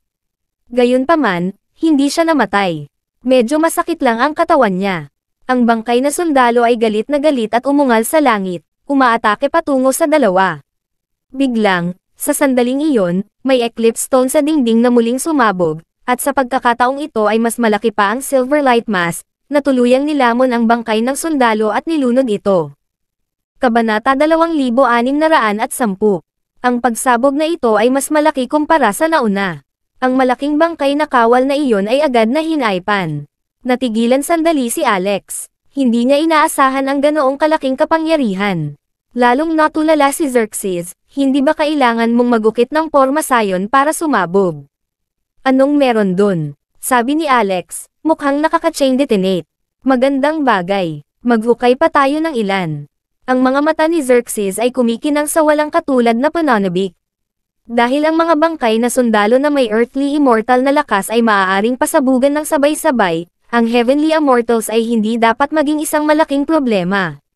Sa higit na katapangan at mas maraming eclipse stones, ang isang golden immortal ay madaling papatayin. Para sa immortal monarch, huwag tayong masyadong mag-isip. Ginamit ni Xerxes ang dalawang kamay at mabilis na hinukay ang minahan. Pagkatapos, hinayaan niyang yukit ni Alex ang formation blueprint dito. Pagod na pagod siya na pinagpapawisan siya at ang mga kamay niya ay masakit, ngunit nakita niya na si Alex ay umuukit ng isang formation blueprint sa isang nakakagulat na mabilis na bilis, isa sa dalawa o tatlong segundo. Alex, ang iyong pag-aaral ng pagbuo ng mga blueprint ay malalim. Katamtaman lang, nagsisimula pa lang ako. Sagot ni Alex, mayroon akong isang mahusay na pamangkin na pinag-aralan ng mabuti ang pagbuo ng blueprint. Ipapakilala ko siya sa iyo kung babalik na tayo sa Amerika. Hayaan mong sabihin ko sa iyo, siya ang unang Dow Formationist sa Amerika at siya rin ang pinakamakapangyarihang Dow Formationist ng Flying Eagles Academy. Ang mga taong 70 o 80 taong gulang ay handang lumuhad para sambahin ang aking pamangkin sa tuhod, ang guro. Natigilan si Alex, parang ang kausap niya tungkol sa pamangkin na yon. Paano kaya siya naging katulad niya? Patuloy ni Xerxes, Pagdating ng panahon, tanungin mo ang pamangkin kung iyon kung may mga tanong ka. For my sake, siguradong masasagot niya lahat. Tumagilid si Alex at nagtanong, ano ang pangalan ng iyong pamangkin? Sumagot si Xerxes, ang pangalan niya ay Alex. Sagot ni Alex, narinig ko na siya. Sigurado ka bang pakikinggan ka ng pamangkin mong ito at sasagutin ang lahat ng tanong? Pagmamayabang ni Xerxes, oo, sigurado. Ako ang kanyang tiyuhin, nakatumbas ng kalahating ama. Kung maglakas loob siyang sumuwi, sasampalin ko siya, at kailangan niyang lumuhad at sumigaw, Tito, nagkamali ako. Walang imak si Alex. Kung may pisngi siya, siguradong manginig siya. No wonder na magkatugma ang kanyang pangalan at personalidad. First meeting pa lang nila, pero masyado na siyang nagyabang. Hindi nagtagal, nakaipon si Alex ng sampung eclipse stone sa kanyang kamay. Bagamat marami pa ring pader, hindi sila makapaghukay dito. Lalong tumindi ang tunog ng mga yabag, at isang malaking grupo ng mga bangkay na sundalo ang sumugod sa larangan ng digmaan. Nagmamadaling tumakbo sina Alex at Xerxes, ngunit hindi nila inaasahan na aabot sa dead end. Wala nang daan. Sabay na tulala ang dalawang matanda. Naglakad sila ng kalahating araw, at bawat kalsada ay may labasan. Ang lahat ay dahil sa nahulaan nila ng tama sa ngayon, dahil wala silang alam na daanan sa loob ng palasyo. Lahat sila ay may pare-parehong istruktura, hindi pinapansin ang apat na kardinal na puntos. Walang naghula na sa kritikal na sandali na ito, maaabot sila sa dead end. Nagmadaling pumasok ang mga bangkay na sundalo. Ang nanguna sa daan ay siya ring Grand Preceptor noon. Hindi nila ito nakita ng malinaw ngayon, Ngunit ngayon lang nila nakita ang hitsura ng taong ito, na ibang-iba sa hitsura ng mga bangkay na sundalo. Ito ay talagang isang matandang may laman at dugo. Siya ay buhay na may buhok na crane at isang pulang mukha. Hinawakan niya ang isang mabangis na ekspresyon, na may hangganan sa gilid ng paniniil. Isang pares ng matandang mata ang nakakamatay na nakatitig kina Alex at Xerxes. Malakas niyang tanong, nasaan ang five-flavored tea of forgetfulness? Nasa loob ba? Ilabas mo sa akin ang lahat, kung hindi, pagsisisihan mo ito habang buhay. Napatingin si Xerxes kay Alex. Sa totoo lang, nagtataka rin siya sa kanyang puso, paano naalis ni Alex ang five-flavored tea of forgetfulness.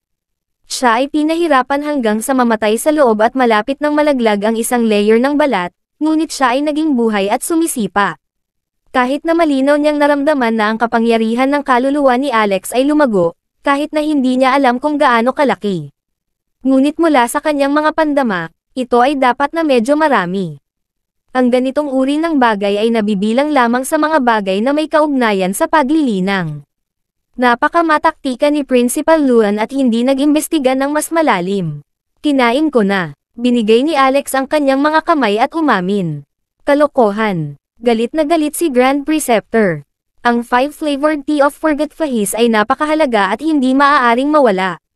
Kung ang five-flavored tea of forgetfulness ay nawala, kahit ang kanyang kamahalan ay hindi ito madala. Tungkol naman sa pahayag ni Alex, hindi siya naniwala. Malaki ang tiwala niya na kahit sinong pumasok ay hindi makakayanan ang kapangyarihan ng five-flavored tea of forgetfulness. Ngayon, ang tanging paliwanag ay kinuha agad ng dalawang bastos na ito ang Pool of Forgotten Love at five-flavored tea of forgetfulness pagkaalis nila. Ilabas mo agad, ngayon na.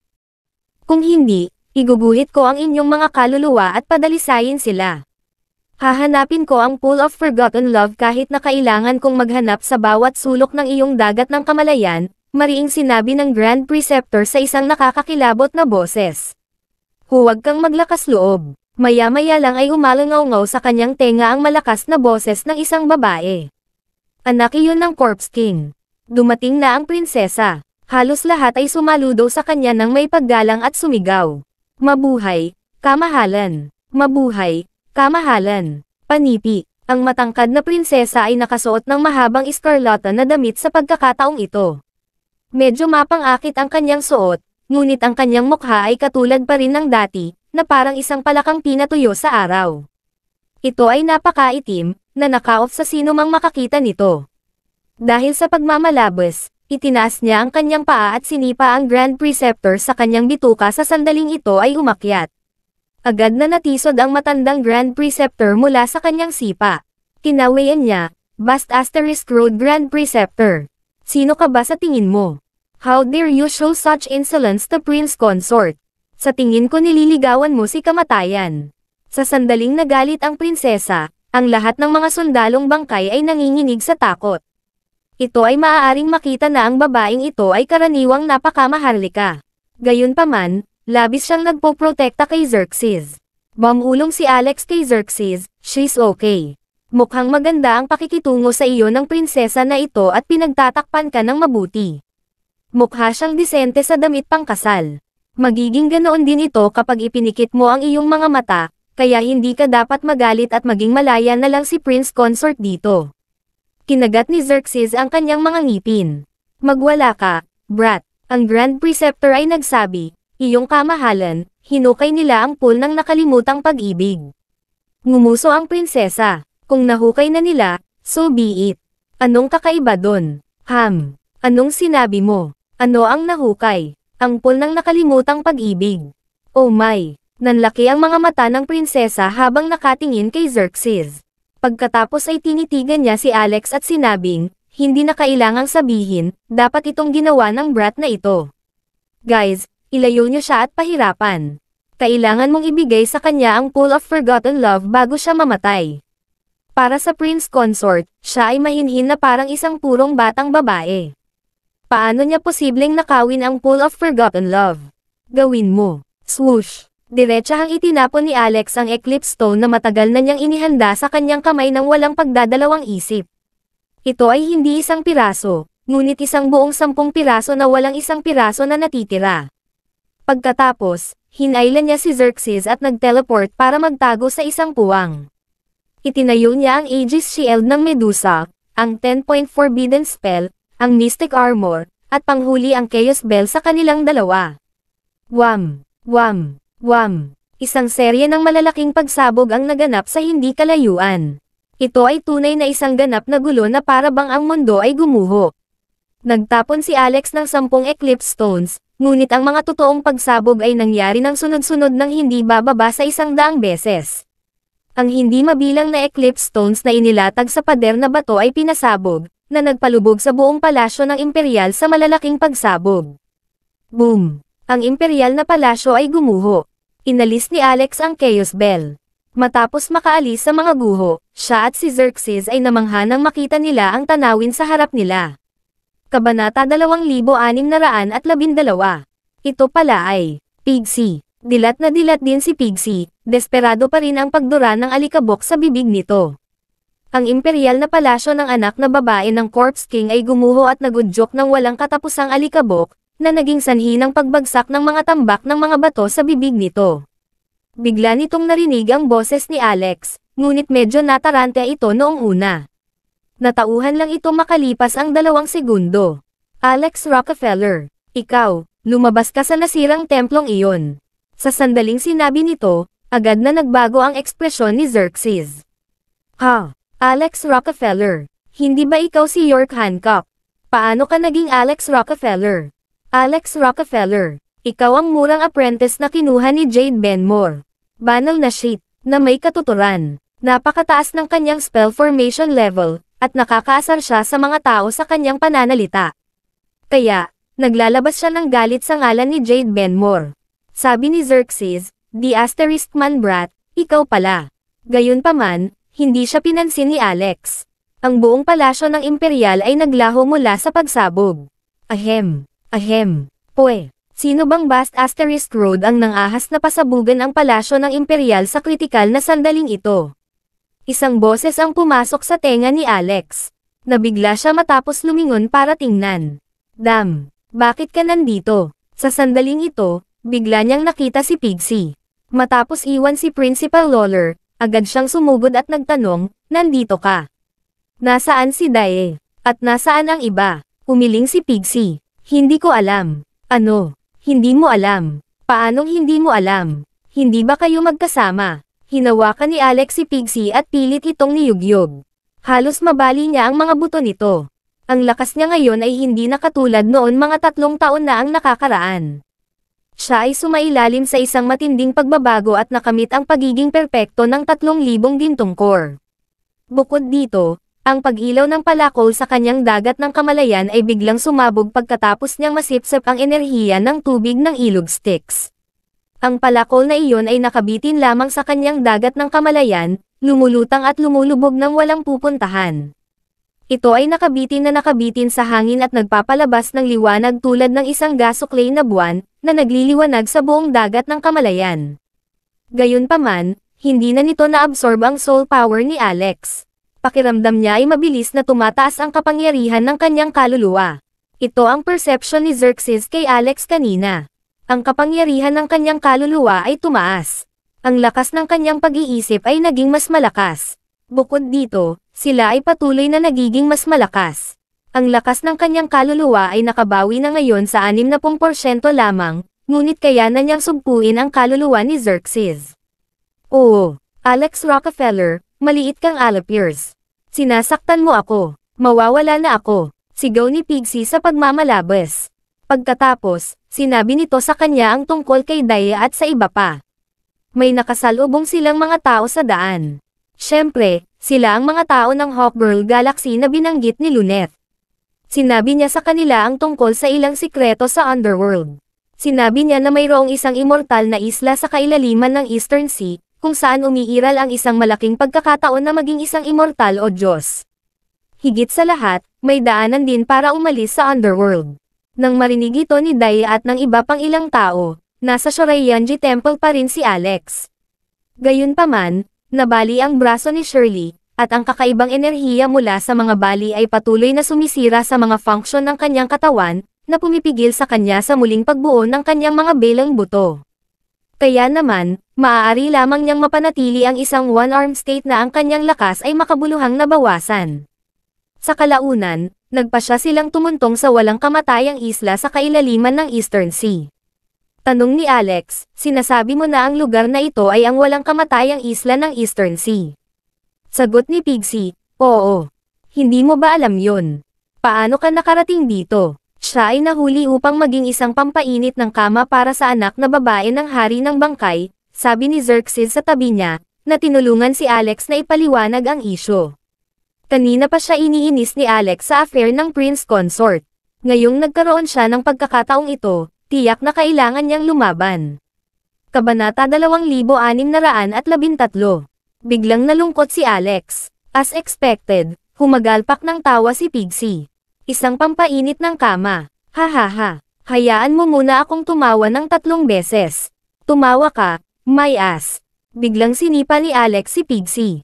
Ituloy mo. Ano ang sumunod na nangyari? Nang banggitin niya iyon, nagngangalit si Pixie at sinabing, Some vast asterisk road out of nowhere called me out. Sinabi pa nila na kung mahahanap nila ako, mahahanap nila ang pool of afterlife upang ganap na baguhin ang kanilang mga sarili at bumalik sa mortal na kaharian. I wanted to condemn him so badly. Ibinuka lang niya ang kanyang bibig ng walang pananagutan. Kung alam ko lang ang lokasyon ng Pool of Afterlife, ako na mismo ang tumalon. Kailangan ko pa bang maghintay para mahuli ako? Ayaw marinig ni Alex ang mga reklamo nito kaya pinutol niya ito. Alisin ang mga hindi mahalagang bahagi. Sabihin mo sa akin ang pangunahing punto. Sabi ni Pixie, ang susi ay may nagtangkang magtrabaho sa akin at nasaktan pa ang asawa mo. Para mabigyan sila ng pagkakataong mabuhay, nagkusa akong umalis sa pangunahing puwersa at tumakas para akitin ang mga kalaban. Pagkatapos ng ilang makitid na pagtakas na may 36 na malaki at 72 maliliit na kapigatian, nakabalik na ako ngayon sa wakas. Agad na kumunot ang noo ni Alex. Ito ay hindi isang piraso ng magandang balita. Gayunpaman, alam niyang ang malalaki at maliliit na kapigatian na sinabi ni Pixie ay pawang gawa-gawa lamang. Alam na alam niya ang mga birtod ng baboy. Ito ay mahiyain at tuso. Hindi na niya mabilang kung ilang beses nakatakas ang lalaking ito sa mga kritikal na sandali, kaya malamang na ganoon din ito sa pagkakataong ito. Tungkol naman sa imperial na palasyo ng anak na babae ng Corpse King, malamang na itinaguyod ng taong ito ang pilosopiya na ang pinakamapanganib na lugar ay ang pinakaligtas. Gayunpaman, ang katotohanan na si Dai ay nasugatan ay nag-aalala pa rin sa kanya ng husto. Dalhin mo ako sa kanila, ngayon din. Sabi ni Alex, pero, hindi ko alam kung nasaan sila. Sa kanilang pag-uusap, binalaan sila ni Xerxes. May darating. Mabilis na tiningnan ni Alex ang mga papasok na tao at naisip na sila ang mga bangkay na sundalo noong una. Kasunod nito, nalaman niyang hindi sila kundi ilang mga trialist. Ang mga papasok na tao ay nagsusuot ng lahat ng uri ng mga damit at malinaw na hindi mula sa parehong grupo. Ang mga taong iyon ay nanggaling sa labas. Ang imperial na palasyo ng anak na babae ng Corpse King sa immortal na isla ay orihinal na binabantayan ng maraming bangkay na sundalo, kaya lahat ng mga pagsubok ay hindi nang ahas na lumapit. Kahit na ang usap-usapan na ang mga kamanghamanghang kayamanan at pagkakataon ay nakatago sa palasyo ng imperial, ang lahat ay maaari lamang maghangad at tumitig sa kanila mula sa malayo. Kinailangan pa nilang bantayan ang mga bangkay na sundalo sa biglaang pag-atake sa kanila. Gayunpaman, ang imperial na palasyo ay sumabog na ngayon. Kahit na ang mga tao ay naririnig ang kaguluhan na ginawa ng gayong marahas na pagsabog isang libong milya ang layo at nakita ang mga apoy na pumapailan lang sa kalangitan pati na rin ang umaapaw na misteryosong enerhiya mula sa malayo. Ang palasyo ng Diyosa ay sumabog. Tiyak na mayroong mga kayamanan sa loob ng isang mahiwagang lawak ng gayong kinang. Malaking pagkakataon. Magmadali para sa kanila. Sila ay pag-aari ng sino mang makakuha sa kanila. Ang mga trialist ay wala sa kanilang isip. Alam ng maraming tao ang tungkol sa pagkakaroon ng palasyo ng Diyosa, ngunit ito ay nakakapagtaka. Dati, ang espiritu ay handa, ngunit ang laman ay mahina. Hindi man lang sila ng ahas na pumasok sa palasyo ng imperial, ngunit ngayon, iba na.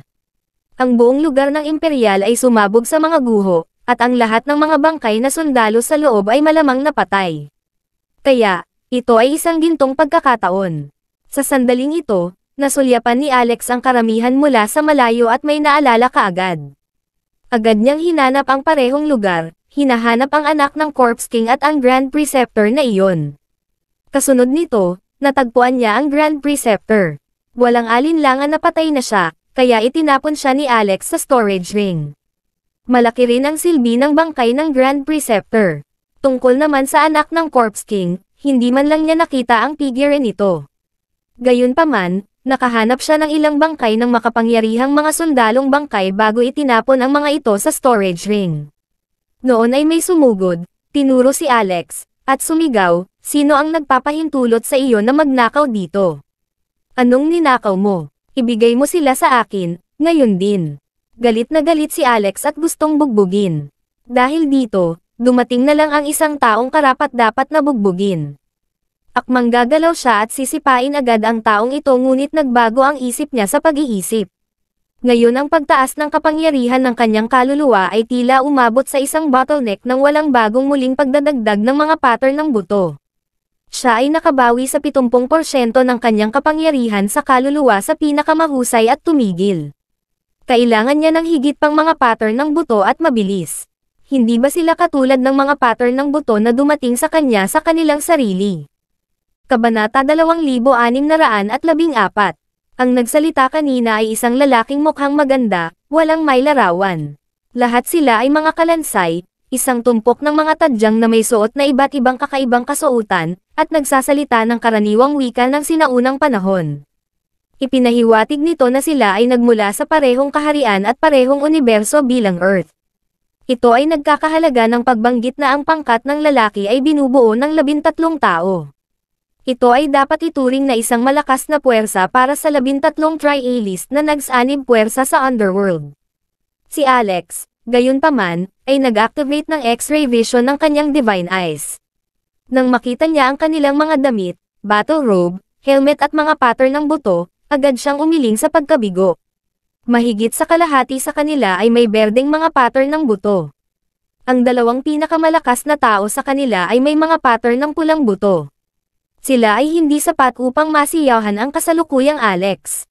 Mas gugustuhin niyang kunin ang ilang katawan ng mga bangkay na sundalo dahil mayroon din silang mga pattern ng buto. Bukod dito, ang karamihan sa kanilang mga pattern ng buto ay pula. Nang makitang bahagyang umiling si Alex ay agad na nagalit ang lalaking kakasalita lang. Brat, mas matalino ka. Hindi mo may tatago ang mga kayamanan kung kayong dalawa lang. Sa halip na mapatay, bakit hindi mo sila ibigay ng masunurin? Ipinapangako ko na hindi kita gagawa ng kamay. Walang pakialam na sumagot si Alex, hindi mo sila makukuha dahil hindi sapat ang iyong koponan. Sa impyerno kasama ka, nagmura ang lalaking iyon at akmang sasalakayin si Alex. Noon lang, may nagsabi, tama siya. Kayong mga tri-A-list mula sa Heavenly Ship ay nasa ibaba ng buong Persos Galaxy, hindi banggitin na nahaharap ka ngayon sa mga powerhouse ng lahat ng paraan sa universo.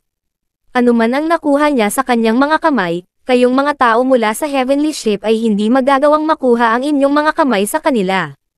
Hindi mo magagawang panatilihin ang mga ito kahit na nakuha mo ang mga ito. Kaya, mawala ka ngayon. I'll pretend that you never appeared, ang ungol ng tao sa mahina at malupit na tono. Malinaw na alam niya ang tungkol sa mga tinatawag na Heavenly Ship Trialists at dati ay may mga salungatan sa kanila. Gayunpaman, wala siya sa anumang koponan. Siya ay nag-iisa sa isang Bone Demon Bear. Bilang resulta, ang mga tri-A-list ng Heavenly Ship ay talagang umatras mula sa larangan ng digmaan at umalis ng wala pang tatlong segundo matapos marinig ang ilang salita mula sa lalaki. Gaano kalaki ang takot nila sa kanya? Kinausap ni Xerxes si Alex sa pamamagitan ng Divine Sense. Brat, ang taong iyon at ang oso ay hindi mahirap na kalaban. Hayaan mo na lang akong makitungo sa kanila. Huwag itigil ang oras. Kung mas matagal kang magstall, mas dadagsa ang mga tao. Kailangan mong mag-ingat. Isa pa, makikipag-ayos ako sa iyo mamaya para sa panlilin lang sa akin tungkol sa pagiging York Hancock mo. Ha, well, Sino bang gustong maging kamag-anak ko nang walang kahihiyan ngayon lang? Reklamo ni Alex sa kanyang puso. Sa sandaling ito, maraming tao ang talagang nakapaligid sa kanya. Ang iba ay malapit sa kanya, habang ang iba ay mas malayo. Mas maraming tao ang nanonood sa kanya, sinusubukang umupo at umani ng mga benepisyo mula sa tunggalian. Bantong hininga, kalimutan mo na, ang mga tri-A-list na ito ay mahina, at ang kanilang mga pattern ng buto ay mas mababa kaysa sa mga mula sa mga sundalong bangkay, kaya hindi ko na kailangang akitin sila dito. Habang iniisip iyon ni Alex ay nakagalaw na si Xerxes. Dagandong. Napasigaw siya. Ang mga buto ng buto ay lumabas sa kanyang likod, at siya ay naging kalahating dragon. Agad siyang sumugod sa mga kalaban para patayin sila. Ha! Ang kakayahang ito ay medyo makapangyarihan.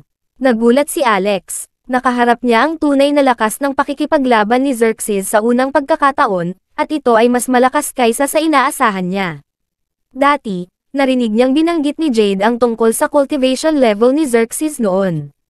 Sa oras na iyon, sinabi na mas mababa siya kay Jade at nasa Advanced Tribulation Crossing sa pinakamahusay, ngunit ang kanyang kasalukuyang kapangyarihan sa pakikipaglaban ay kapantay ng isang Golden Immortal. Hindi, baka mas malakas lang siya. Ito ay dahil ang sungay ng dragon sa kanyang kamay ay maaaring doblehin ang kanyang nakamamatay na kapangyarihan. Swoosh! Ang sungay ng dragon sa kamay ni Xerxes ay bumangga sa mahabang espada ng kalaban. Ito ay walang alinlangan na isang whitewash.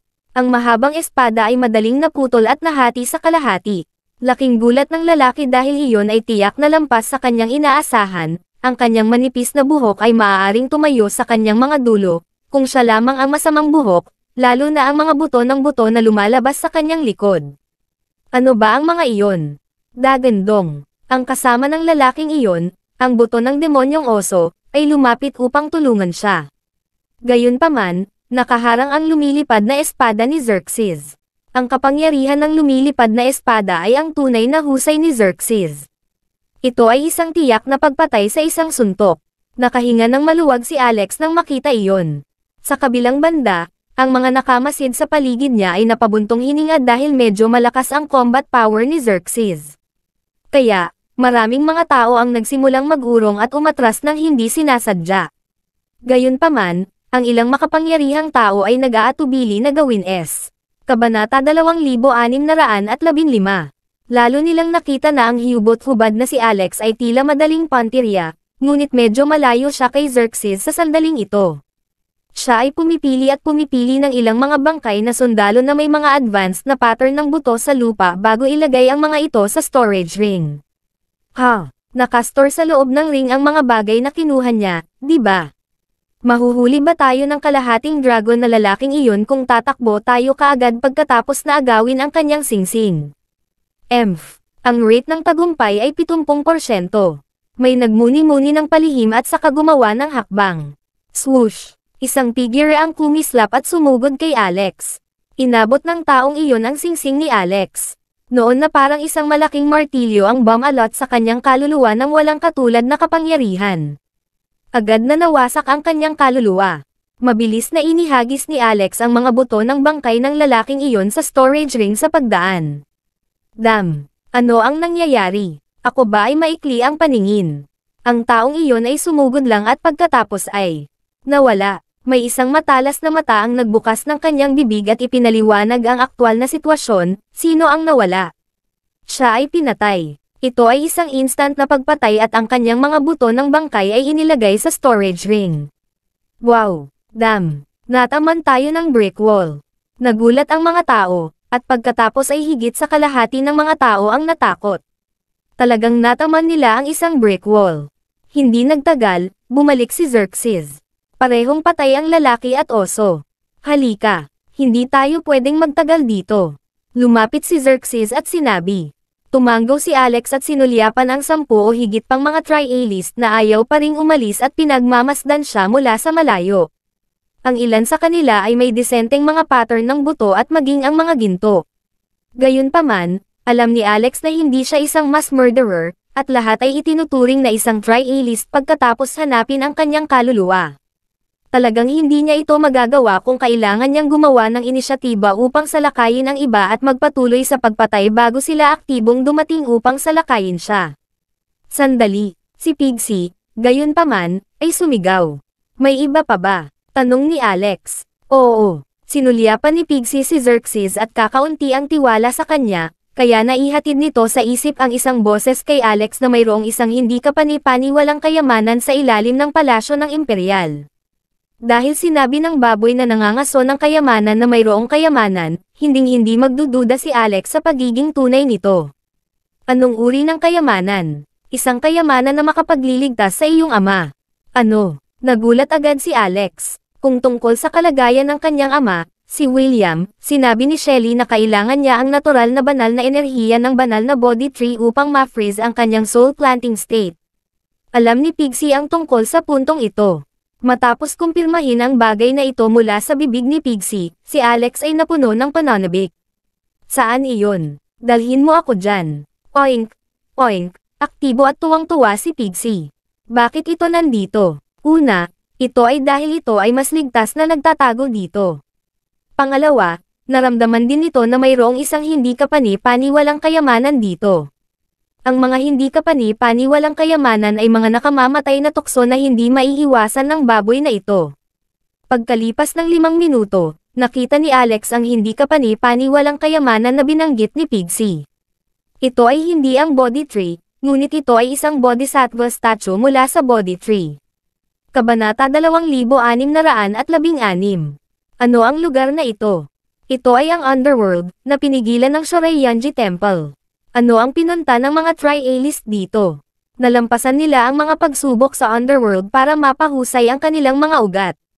Pagkatapos, hahanapin nila ang Pool of Afterlife para umalis sa underworld at reformahin ang kanilang laman. Ito, sa kanyang sarili, ay isang proseso. Gayunpaman, mayroong isang panganib, ang Pool of Afterlife ay hindi isang bagay na maaaring magkaroon ng isa kung naisin niya ito. Sa kabaligtaran, ito ang pinakamahirap na seksyon sa buong proseso. Minsan may gumawa ng statistics. Sa isang daang trialists, siyam na tao lamang ang matagumpay na makakahanap ng Pool of Afterlife upang mabawi ang kanilang laman at reforma ang kanilang mga ugat. Delikado ba ito? Ito ay, ganun pa man, bakit ang dami pa ring pumapasok? Siyempre, mayroon silang mga dahilan upang pumunta rito, para sa kapakanan ng kanilang mga buto ng ugat, upang maging mas malakas, upang, hindi sila handang maging ordinaryo o manatiling stagnant, kaya lahat sila ay determinadong ipagsapalaran ang kanilang buhay. Gayunpaman, mayroong isang bagay na makapagliligtas sa kanilang buhay. Ito ay ang banal na relic o cultivation technique na puno ng sinaunang Budismo. Tinangka ni Alex na pasiglahin ito gamit ang kanyang banal na kapangyarihan. Sa sumunod na segundo, ang estatwa ng Bodhisattva ay biglang lumabas sa kawalan, at ang matayog na banal na liwanag ay sumibol at bumaril sa kalangitan. Hindi niya ito mapigilan kahit gusto niya. O tae, may isang kakilakilabot na, malapit nang mangyari. Sa kasalukuyan, ang walang hanggan na enerhiya ng sinaunang Budismo ay kumikinang tulad ng araw, na dumadaloy sa kalangitan. Grabe ang rockers na ito na kahit si Alex ay natulala ay napaatras siya. Pagkatapos, naisip niya na ang bodhisattva statue na ito ay masyadong mataas ang profile at makakaakit ng hindi mabilang na kaimbutan ng mga tao, na nagpapabaliw sa kanila. Sa sandaling ito, ang mga taong gustong umatras ay muling nagtipon. Higit pa rito, nakikita niya ang ilang aura ng ilang powerhouse na umalingaw-ngaw mula sa malayo, desperadong sumugod dito. Malungkot ding sinabi ni Xerxes, ito ay pinipilit tayong magkaroon ng madugong labanan. After a pause, naging excited na naman siya. Ngunit, ito ay isang windfall sa pagkakataong ito. Ang estatwa ng Buddha na ito na inukit mula sa isang puno ay lumalabas na may napakalakas na katangian ng sinaunang Budismo. Hindi na magiging luho ang pagpasok sa Derayenji Temple kasama nito. Ito ay isang luho. Naisip ni Alex, walang makakapasok sa Derayenji Temple nang walang token mula sa Shoreiyanji Temple. Alex, mas pamilyar ka sa Budismo kaysa sa akin. Tungkol sa gawain kung paano makuha ang rebeltong ito, ipaubaya ko ito sa iyo. Haharapin ko ang mga taong iyon. Agad siyang lumabas pagkatapos niyang magsalita. Sumiklab ang labanan dahil may nakakilos na. Tumingin si Alex sa paligid at naging balisa rin. Sa isang saglit lang, Nakita niya ang mga banggaan ng enerhiya sa kahit dose-dose ng mga lugar at layer ng Immortal Will of Life, lahat ay nagmamadali patungo sa Bodhisattva statue. Desidido akong makuha ang bagay na ito. Si Alex ay gumawa ng determinadong pagsisikap dahil baka hindi niya mahanap ang totoong body tree. Kahit nataglay niya ang token para makapasok sa Derayenji Temple, maaaring hindi niya ito makapasok kinailangan pa niyang hanapin ang banal na Bodhi Valley Tree sa Derayenji Temple mamaya, ngunit lahat ito ay hindi alam. Kaya, dapat niyang kunin muna ang bagay na ito dahil malamang na mag-freeze ang estado ng kanyang ama o mapabagal ito, hindi bababasa. Divine Power, Go! Pinakawalan ni Alex ang kanyang banal na kapangyarihan. Pinalapot niya ang isang malaking palad gamit ang banal na kapangyarihan at hinawakan ang rebulto ng Bodhisattva. Sa kanyang pagtataka, Isang walang katulad na puwersa ang hamarang sa palad ng papalapit ito sa rebulto. Pinoprotektahan ito ng isang force field. What the hell? Dahil na-activate ka ng aking banal na kapangyarihan, itinuturing kang kinikilala sa ating relasyon. We are from the same sect, more or less, so why keep resisting me? Nakita ni Alex na dumarami ang mga taong sumusugod. Habang nakikipaglaban sa mga kalaban, sumigaw si Xerxes, Alex, bilasin mo. Nagiging mahirap ang kanyang sitwasyon. Kahit na siya ay makapangyarihan, hindi niya kayang talunin ang lalong lumalakas na mga kalaban. Ang mga kalaban na dumating sa pagkakataong ito ay mas malakas kaysa sa naunang dalawa. Pigsy, tulungan mo siya. Giit ni Alex. Gayunpaman, tumanggi si Pigsi na pumunta doon. Ganoon ang ugali ng baboy. Kung wala itong magagawa, siguradong hindi ito mag-aambag. Kung hindi nito kailangang ipagsapalaran ang kanyang buhay, hindi ito aabala kahit isang pulgada, at ang buhay at kamatayan ng ibang tao ay walang kinalaman dito. Galit na umungol si Alex, don't regret not going. Tingnan mo, ano ito? Kabanata 2617 Inilabas niya ang yellow obsidian crystal na iyon at iwinagayway sa harap ni Pixie. Ang pagiging sensitibo ni Pixie sa makalangit na kayamanan ay tiyak na sampung beses kaysa sa sino mang iba pa. Halos agad itong natuwa nang ilabas ito ni Alex. Ito ay, maaaring ito ay ang yellow obsidian. Tama iyan. Matapos makakuha ng matatag na tugon, agad na napuno ng bean si Pixie. Agad itong tumakbo palabas. Gayunpaman, sa loob ng isang minuto, tumakbo ito pabalik, humihiyaw. Ito ay nasugatan. Sa mga tuntunin ng lakas, kung ikukumpara kay Xerxes, si Pixie ay isang mahina lamang. Sa harap ng napakaraming powerhouse, tumayo lang ito para mabugbog. Dam, grabe ka lang kumpara sa iba, di ba? Naiwang tulala si Alex. Grabe kang baboy. Anong dahilan mo para tamasahin ang Yellow Obsidian Chi? Hindi kumbinsido si Pixie. Ang isa ay maaaring isang master sa kanyang sariling espesyal na larangan. Hindi ako combat pig. Ako ay isang treasure hunting pig. Isa akong skilled worker, okay. Pagkatapos, itinuro nito si Xerxes. Sino ang lalaking ito? Masyado siyang overpowering. Nang matapos itong magsalita ay napasigaw ito sa gulat at tinuro ang langit. Di asterisk man. Nandito rin ang mga lalaking ito. Sino sila? Tumingin si Alex at nakitang ito ay isang karwahe na hinihila ng lumilipad na mga demonyong buto na mukhang patuloy na nagmumula sa malayo, ngunit sa katunayan, ito ay napakabilis ng kidlat. Ang pinakanakakagulat ay ang bawat isa sa apat na butong demonyo na humihila sa karwahe ay puno ng gintong mga pattern ng buto. Halos magka-level sila ng gintong agila na nilamon ni Alex noon. Gayunpaman, mayroong apat sa kanila. Bukod dito, tatlong tao ang nakatayo sa lumilipad na karo, isang lalaki at dalawang babae. Ang tatlong tao ay naglabas ng napakalaking aura at itinuring na ganap na mataas na uri sa mga trialist. Nanginginig ang kaluluwa ni Alex, at agad siyang nakaramdam ng matinding pressure dahil sa biglaang pagsulpot ng mga kalaban sa ganoong antas. Si Pixie, gayunpaman, ay nagngangalit ng mga ngipin at maingat na sinabi kay Alex, ito ang lalaking nakasakay sa lumilipad na karo. Sinaktan niya si Dice Stormer at muntik pang dukutin si Ins Larkin. Sila pala, tiningnan ni Alex ang nakamamatay na hangarin na lumalabas sa kanila. Noon niya nakita ang lalaking nakasakay sa flying chariot point sa Pixie at sinabing, haha. Kaya narito ang baboy na nangangaso ng kayamanan. Mukhang ang tusong bagay na ito ay nagtatago sa imperial na palasyo ng prinsesa ng bangkay. Salamat dito, kailangan naming tumingin sa buong mundo ng napakatagal. Samantala, itinuro ng isa pang ginang si Xerxes. Tingnan mo, iyon ang lalaking ng agaw ng Fruit of Eight Legends. Pagkatapos niyang sabihin iyon, isang mamamatay taon na aura ang agad na lumabas mula sa lalaki. Bastard talaga ito. Kung maglakas loob siyang agawin ang aking Fruit of Eight Legends, dapat ay may kamalayan siya sa paglabas ng bituka. Medyo nagulat si Alex sa mga salitang iyon. Hindi niya inaasahan na ang mga taong iyon, ay magkakaroon din ng mga salungatan kay Xerxes. Sa sandaling ito, natuklasan din ni Xerxes ang mga taong iyon na nagmumula sa langit. Palihim siyang sumigaw ng crap, bago nagmamadaling nakipag-telepath kay Alex.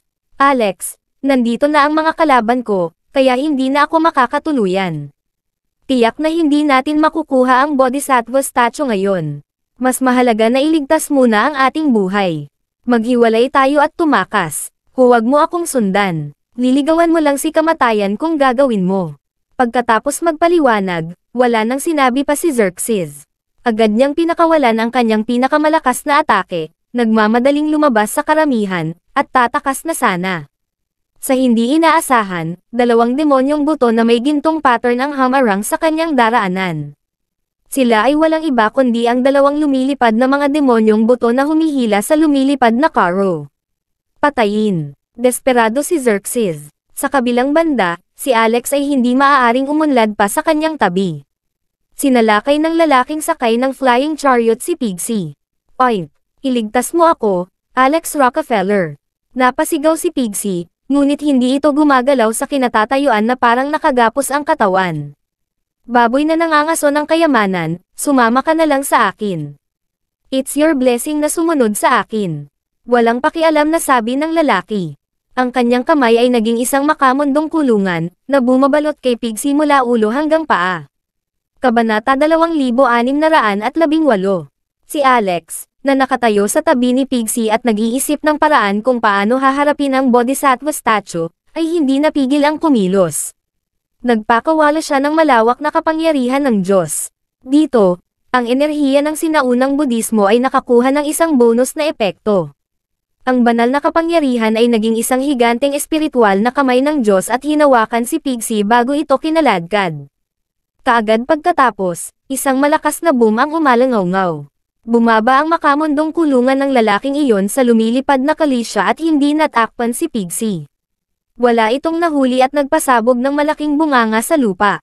Ham! Hindi naman nabigo ang lalaki. Sa halip ay kumikinang ang mga mata nito habang nakatingin kay Alex. Nakakaintriga ka, kaya ikaw ay isang taong tumatahak sa landas ng sinaunang budismo. Hindi katakatakang maa-activate mo itong bodhisattva statue. Hindi masama, hindi masama, kwalipikado ka na maging alipin ko, kaya bibigyan kita ng pagkakataon at dadalhin ka sa ilalim ng aking pakpak kasama ang baboy na nangangaso ng kayamanan na ito. Hindi ka magsisisi. Ang lalaki ay tuwang-tuwa na parang nag-aanunsyo lang ng resulta. Kasabay nito, narinig din ni Alex ang pagbubulungan ng ilan sa kanyang tabi. Napakamayabang ng lalaking ito. Saan galing? Hindi mo talaga siya kilala. Ang iilang taong ito ay may malakas na suporta. Alam mo ba ang Silent Hill? Doon sila nang galing. Ano? Isa sa tatlong nakakatakot na lugar sa Underworld, Silent Hill. Ito ang tanging 9th grade secret realm na inookupahan ng mga Trialist. Siya kaya ang Carefree Immortal King, Freeborn Deredib.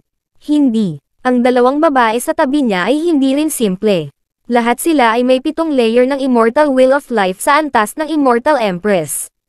Hindi lahat ay maaaring sumali sa Silent Hill. Ang hubad na batang ito ay may hagod ng swerte. Nagustuhan siya ng Carefree Immortal King. Magagawa niya ang anumang gusto niya sa Underworld sa hinaharap. Laking gulat ni Alex nang marinig niyang nagchichismisan ang mga tao sa kanyang likuran natural na maririnig din sila ng freeborn. Mukha siyang nasiyahan at marahang itinaas baba na para bang nag-e-enjoy siya sa mga ganoong opinyon. Sa sandaling ito, ang labanan sa pagitan ni Xerxes at ng lumilipad na mga demonyong buto na may gininto ang pattern ay umabot sa kasukdulan nito. Matapos masugatan ang mga buto ng demonyo sa pagsilang ng dragon ni Xerxes, sila ay humagulgol at ang kanilang mga katawan ay bumagsak pa sa lupa na tinanggal ang isang braso. Higit pa rito, Inalis niya ang mga ito at tiyak na gustong maglaan ng oras upang kainin ang mga ito. Lalong lumalakas ang combat power ng damn thief na iyon. Sa lumilipad na karwahe, galit na sinabi ng isang babae sa tabi ni Freeborn, ako mismo ang haharap sa kanya. Kailangan ko siyang bayaran. Bago pa matapos ang ginang, pumailan lang na siya mula sa lumilipad na karo at sumugod kay Xerxes. Nang magtagumpay si Xerxes, Itinaas niya ang kanyang gitnang daliri sa babaeng humahabol sa kanya. Marahil ay hindi naiintindihan ng babaeng iyon ang kanyang kilos, ngunit tiyak na masasabi niyang hindi ito pagbati. May nagtanong, ano ang gesture ng lalaking ito? Pinagagalitan ba niya ang mga taga Silent Hill? O Diyos ko, sobrang lakas ng loob niya. Ang babaeng ito ay tila kasosyo sa paglilinang ng Carefree Immortal King, si Fairy Faye. Hindi talaga siya takot sa kamatayan. May sumagot sa mahinang boses, nabasa ko na ang kasaysayan, tungkol sa sinaunang panahon ng isang tiyak na mundo. Sa tingin ko ang kanyang kilos ay katulad ng isang bagay na lubhang nakakainsulto. Ha? Ano? Mukhang ibig sabihin, fop. Fop. Ano ang ibig sabihin ng fop? Ito, wala rin akong masyadong alam, pero narinig ko ang isang tahasang parirala na tinatawag na, Go fuck you bastard. Naguguluhan din si Fairy Faye mula sa Silent Hill nang marinig niya ang mga salita ng mga nanonood. Sa sandaling ito, proactive na ipinaliwanag ni Xerxes, itigil ang bulag na hula. Kayo ay talagang isang grupo ng mga taong walang alam, ignoranti. Ni hindi mo nakikilala itong karaniwang kilos ko. Sasabihin ko sa iyo pagkatapos. Ito ang iconic na wika na ipinasa ng pinuno ng Ancient Alliance, Heavenly Emperor Rowan. Pagkasabi niya noon ay maraming buntong hininga ang pinakawalan. Ito pala ay isang kilos na naiwan ng Heavenly Emperor Rowan. Kung gayon, ito ay dapat na isang bagay na napakalalim, tama ba? Ano ba talaga ang kinakatawan nito? Ito ay dapat na isang napakakahangahangang pag-iral, tama ba? Ito ba ay isang uri ng banal na batas? May nagtanong. Habang ang babae ay tila may gustong malaman pa, napangiti si Xerxes. Sa palagay ko hindi masakit na sabihin sa iyo guys. Ang ibig sabihin ng kilos na ito ay matulog. Kabanata 2611. Tulog. Tama iyan. Ibig mo bang sabihin, nakitulog ka na kay Fairy Faye? Dam. Totoo. Naghiyawan ang mga tao dahil masyadong nakakaloka ang balita. Si Fairy Faye ang kasosyo sa paglilinang ng Carefree Immortal King. May bulong-bulungan na ang Carefree Immortal King ay nagmahal sa kanya at dinala siya kahit saan siya magpunta. She was also a mighty existence, pero ngayon, may natulog sa kanya. Ginawa lang nito ang mga tao na makisali sa mga flight ng fancy, hindi ba? Sumabog sa galit si Fairy Faye habang umuungal, how dare you spew such nonsense? Ilalabas ko ang iyong dila. Napatingin si Xerxes kay Alex. Sa katunayan, medyo kinakabahan siya dahil nakakagulat na hindi siya sinundan ng Carefree Immortal King sa kasong iyon. Alam niyang si Alex ang murang apprentice ni Jade, at lubos pa rin ang tingin ni Jade sa kanya. Hindi niya maaaring hayaang mamatay si Alex dito sa lahat ng paraan, kaya sinabi na lang niya ang mga nakakainsultong salita kay Fairy Faye at sa Carefree Immortal King sa sandaling ito upang makaakit ng agresyon. Pagkatapos niyang magdikit ang kanyang mga ngipin, paimpol niyang pinuntahan ang buong baboy at sinabing, Faye, hindi mo na maibabalik ang iyong salita. Malamang nabuntis ka sa aking laman at dugo, kaya hindi ka maaaring maging walang puso sa akin, ang ama ng batang ito. Naisip ko pa ang pangalan ng anak namin. Tawagin natin siyang Ethan para lumaki siyang nagsusumikap ng walang humpay. Ano sa tingin mo? Wow! Nanlaki ang mga mata ng lahat ng chismosang tri-A-list habang pinapanood nila ang palabas. Nagpakatanga sila sa chismis. Ang Carefree Immortal King, bilang isang couple, ay isang simpleng scoop na nakakasira ng lupa na maaaring maging tagapagsalita sa mga tao sa mga darating na taon. Ah, malapit nang mawala sa isip si Fairy Faye. Hindi pa siya nakakita ng ganitong walang hiyang lalaki. Siya ay hayagang bastos, kasuklam-suklam, at dapat na mahak sa magkapira-piraso. Ang Carefree Immortal King ay nagalit din. Siya ay isang Immortal Emperor na naniniwala na siya ang pinakamakapangyarihang pag-iral sa mga pagsubok, ngunit ngayon ay dumanas siya ng pinakakasuklam-suklam at kasuklam-suklam na paninirang puri. Pumunta ka na lang sa impyerno. Umungol si Freeborn. Ang tinig ay sinamahan ng isang kulog, at sa sandaling kumislap ang kanyang figure, sinugod si Xerxes, napakalaki ng nakamamatay na hangarin na magpapalamig sa special na kalawakan sa paligid niya. Ang ilang mahihinang tri-A-list sa lupa ay agad na nasaroon ng loob, at ang kanilang kapangyarihan sa kaluluwa ay nagdusa ng matinding pinsala. Nagpadala si Xerxes ng mental voice transmission kay Alex. Brat, hanggang dito lang ako. Depende sa kapalaran mo ngayon kung pareho tayong mamamatay o buhay. Sa pagkakataong iyon, sa hindi inaasahang pagkakataon ay nakaramdam ng kaunting kirot si Alex. Pero parang hindi mo naman kailangan gawin yon, di ba? Whoosh! Nag-teleport siya at hinarang ang Freeborn habang hawak ang Aegis Shield ng Medusa sa isang kamay at ang Golden Spear ng Victory Goddess sa kabilang kamay. Tiningnan siya ni Alex mula sa gilid ng kanyang mga mata na may pang-aalipusta at kumukulong fighting spirit. Hoy, sa tingin ko ay may kakayahan ka rin. Paano ito? Bibigyan din kita ng pagkakataon. Lumuhad ka at maging lingkod ko. Walang imak ang karamihan. Maraming pa nga ang nalaglag. Kahanga-hanga ang layunin ng pagpatay ng freeborn. Sigurado ka bang ako ang kausap mo? Umiling si Alex. Tulad ng freeborn na ngumiti ng mapanlate at naisip na si Alex ay pumayag, siya ay walang pakialam na sinabi, kalimutan mo na ito. Tiyak na magrereklamo ang aking asawa kung tatanggapin ko ang isang lingkod na tulad mo. Kaya mas mabuting mamatay ka na lang. Patayin. Agad na nakipag-away si Alex. Anong carefree immortal king? Papatayin na lang niya ang isang Immortal King para sa kanyang kapistahan ngayon. Samantala, si Xerxes, na naghahanda sa pagtakas, ay napatulala nang makita ang tagpong ito. Siya ay nagpakahirap upang tuyain sila sa kapinsalaan ng pag-aalipusta sa sarili.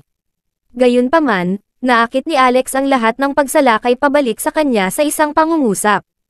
Kabanata 2620 Nakakagat ka ng higit sa kaya mong mumunguya.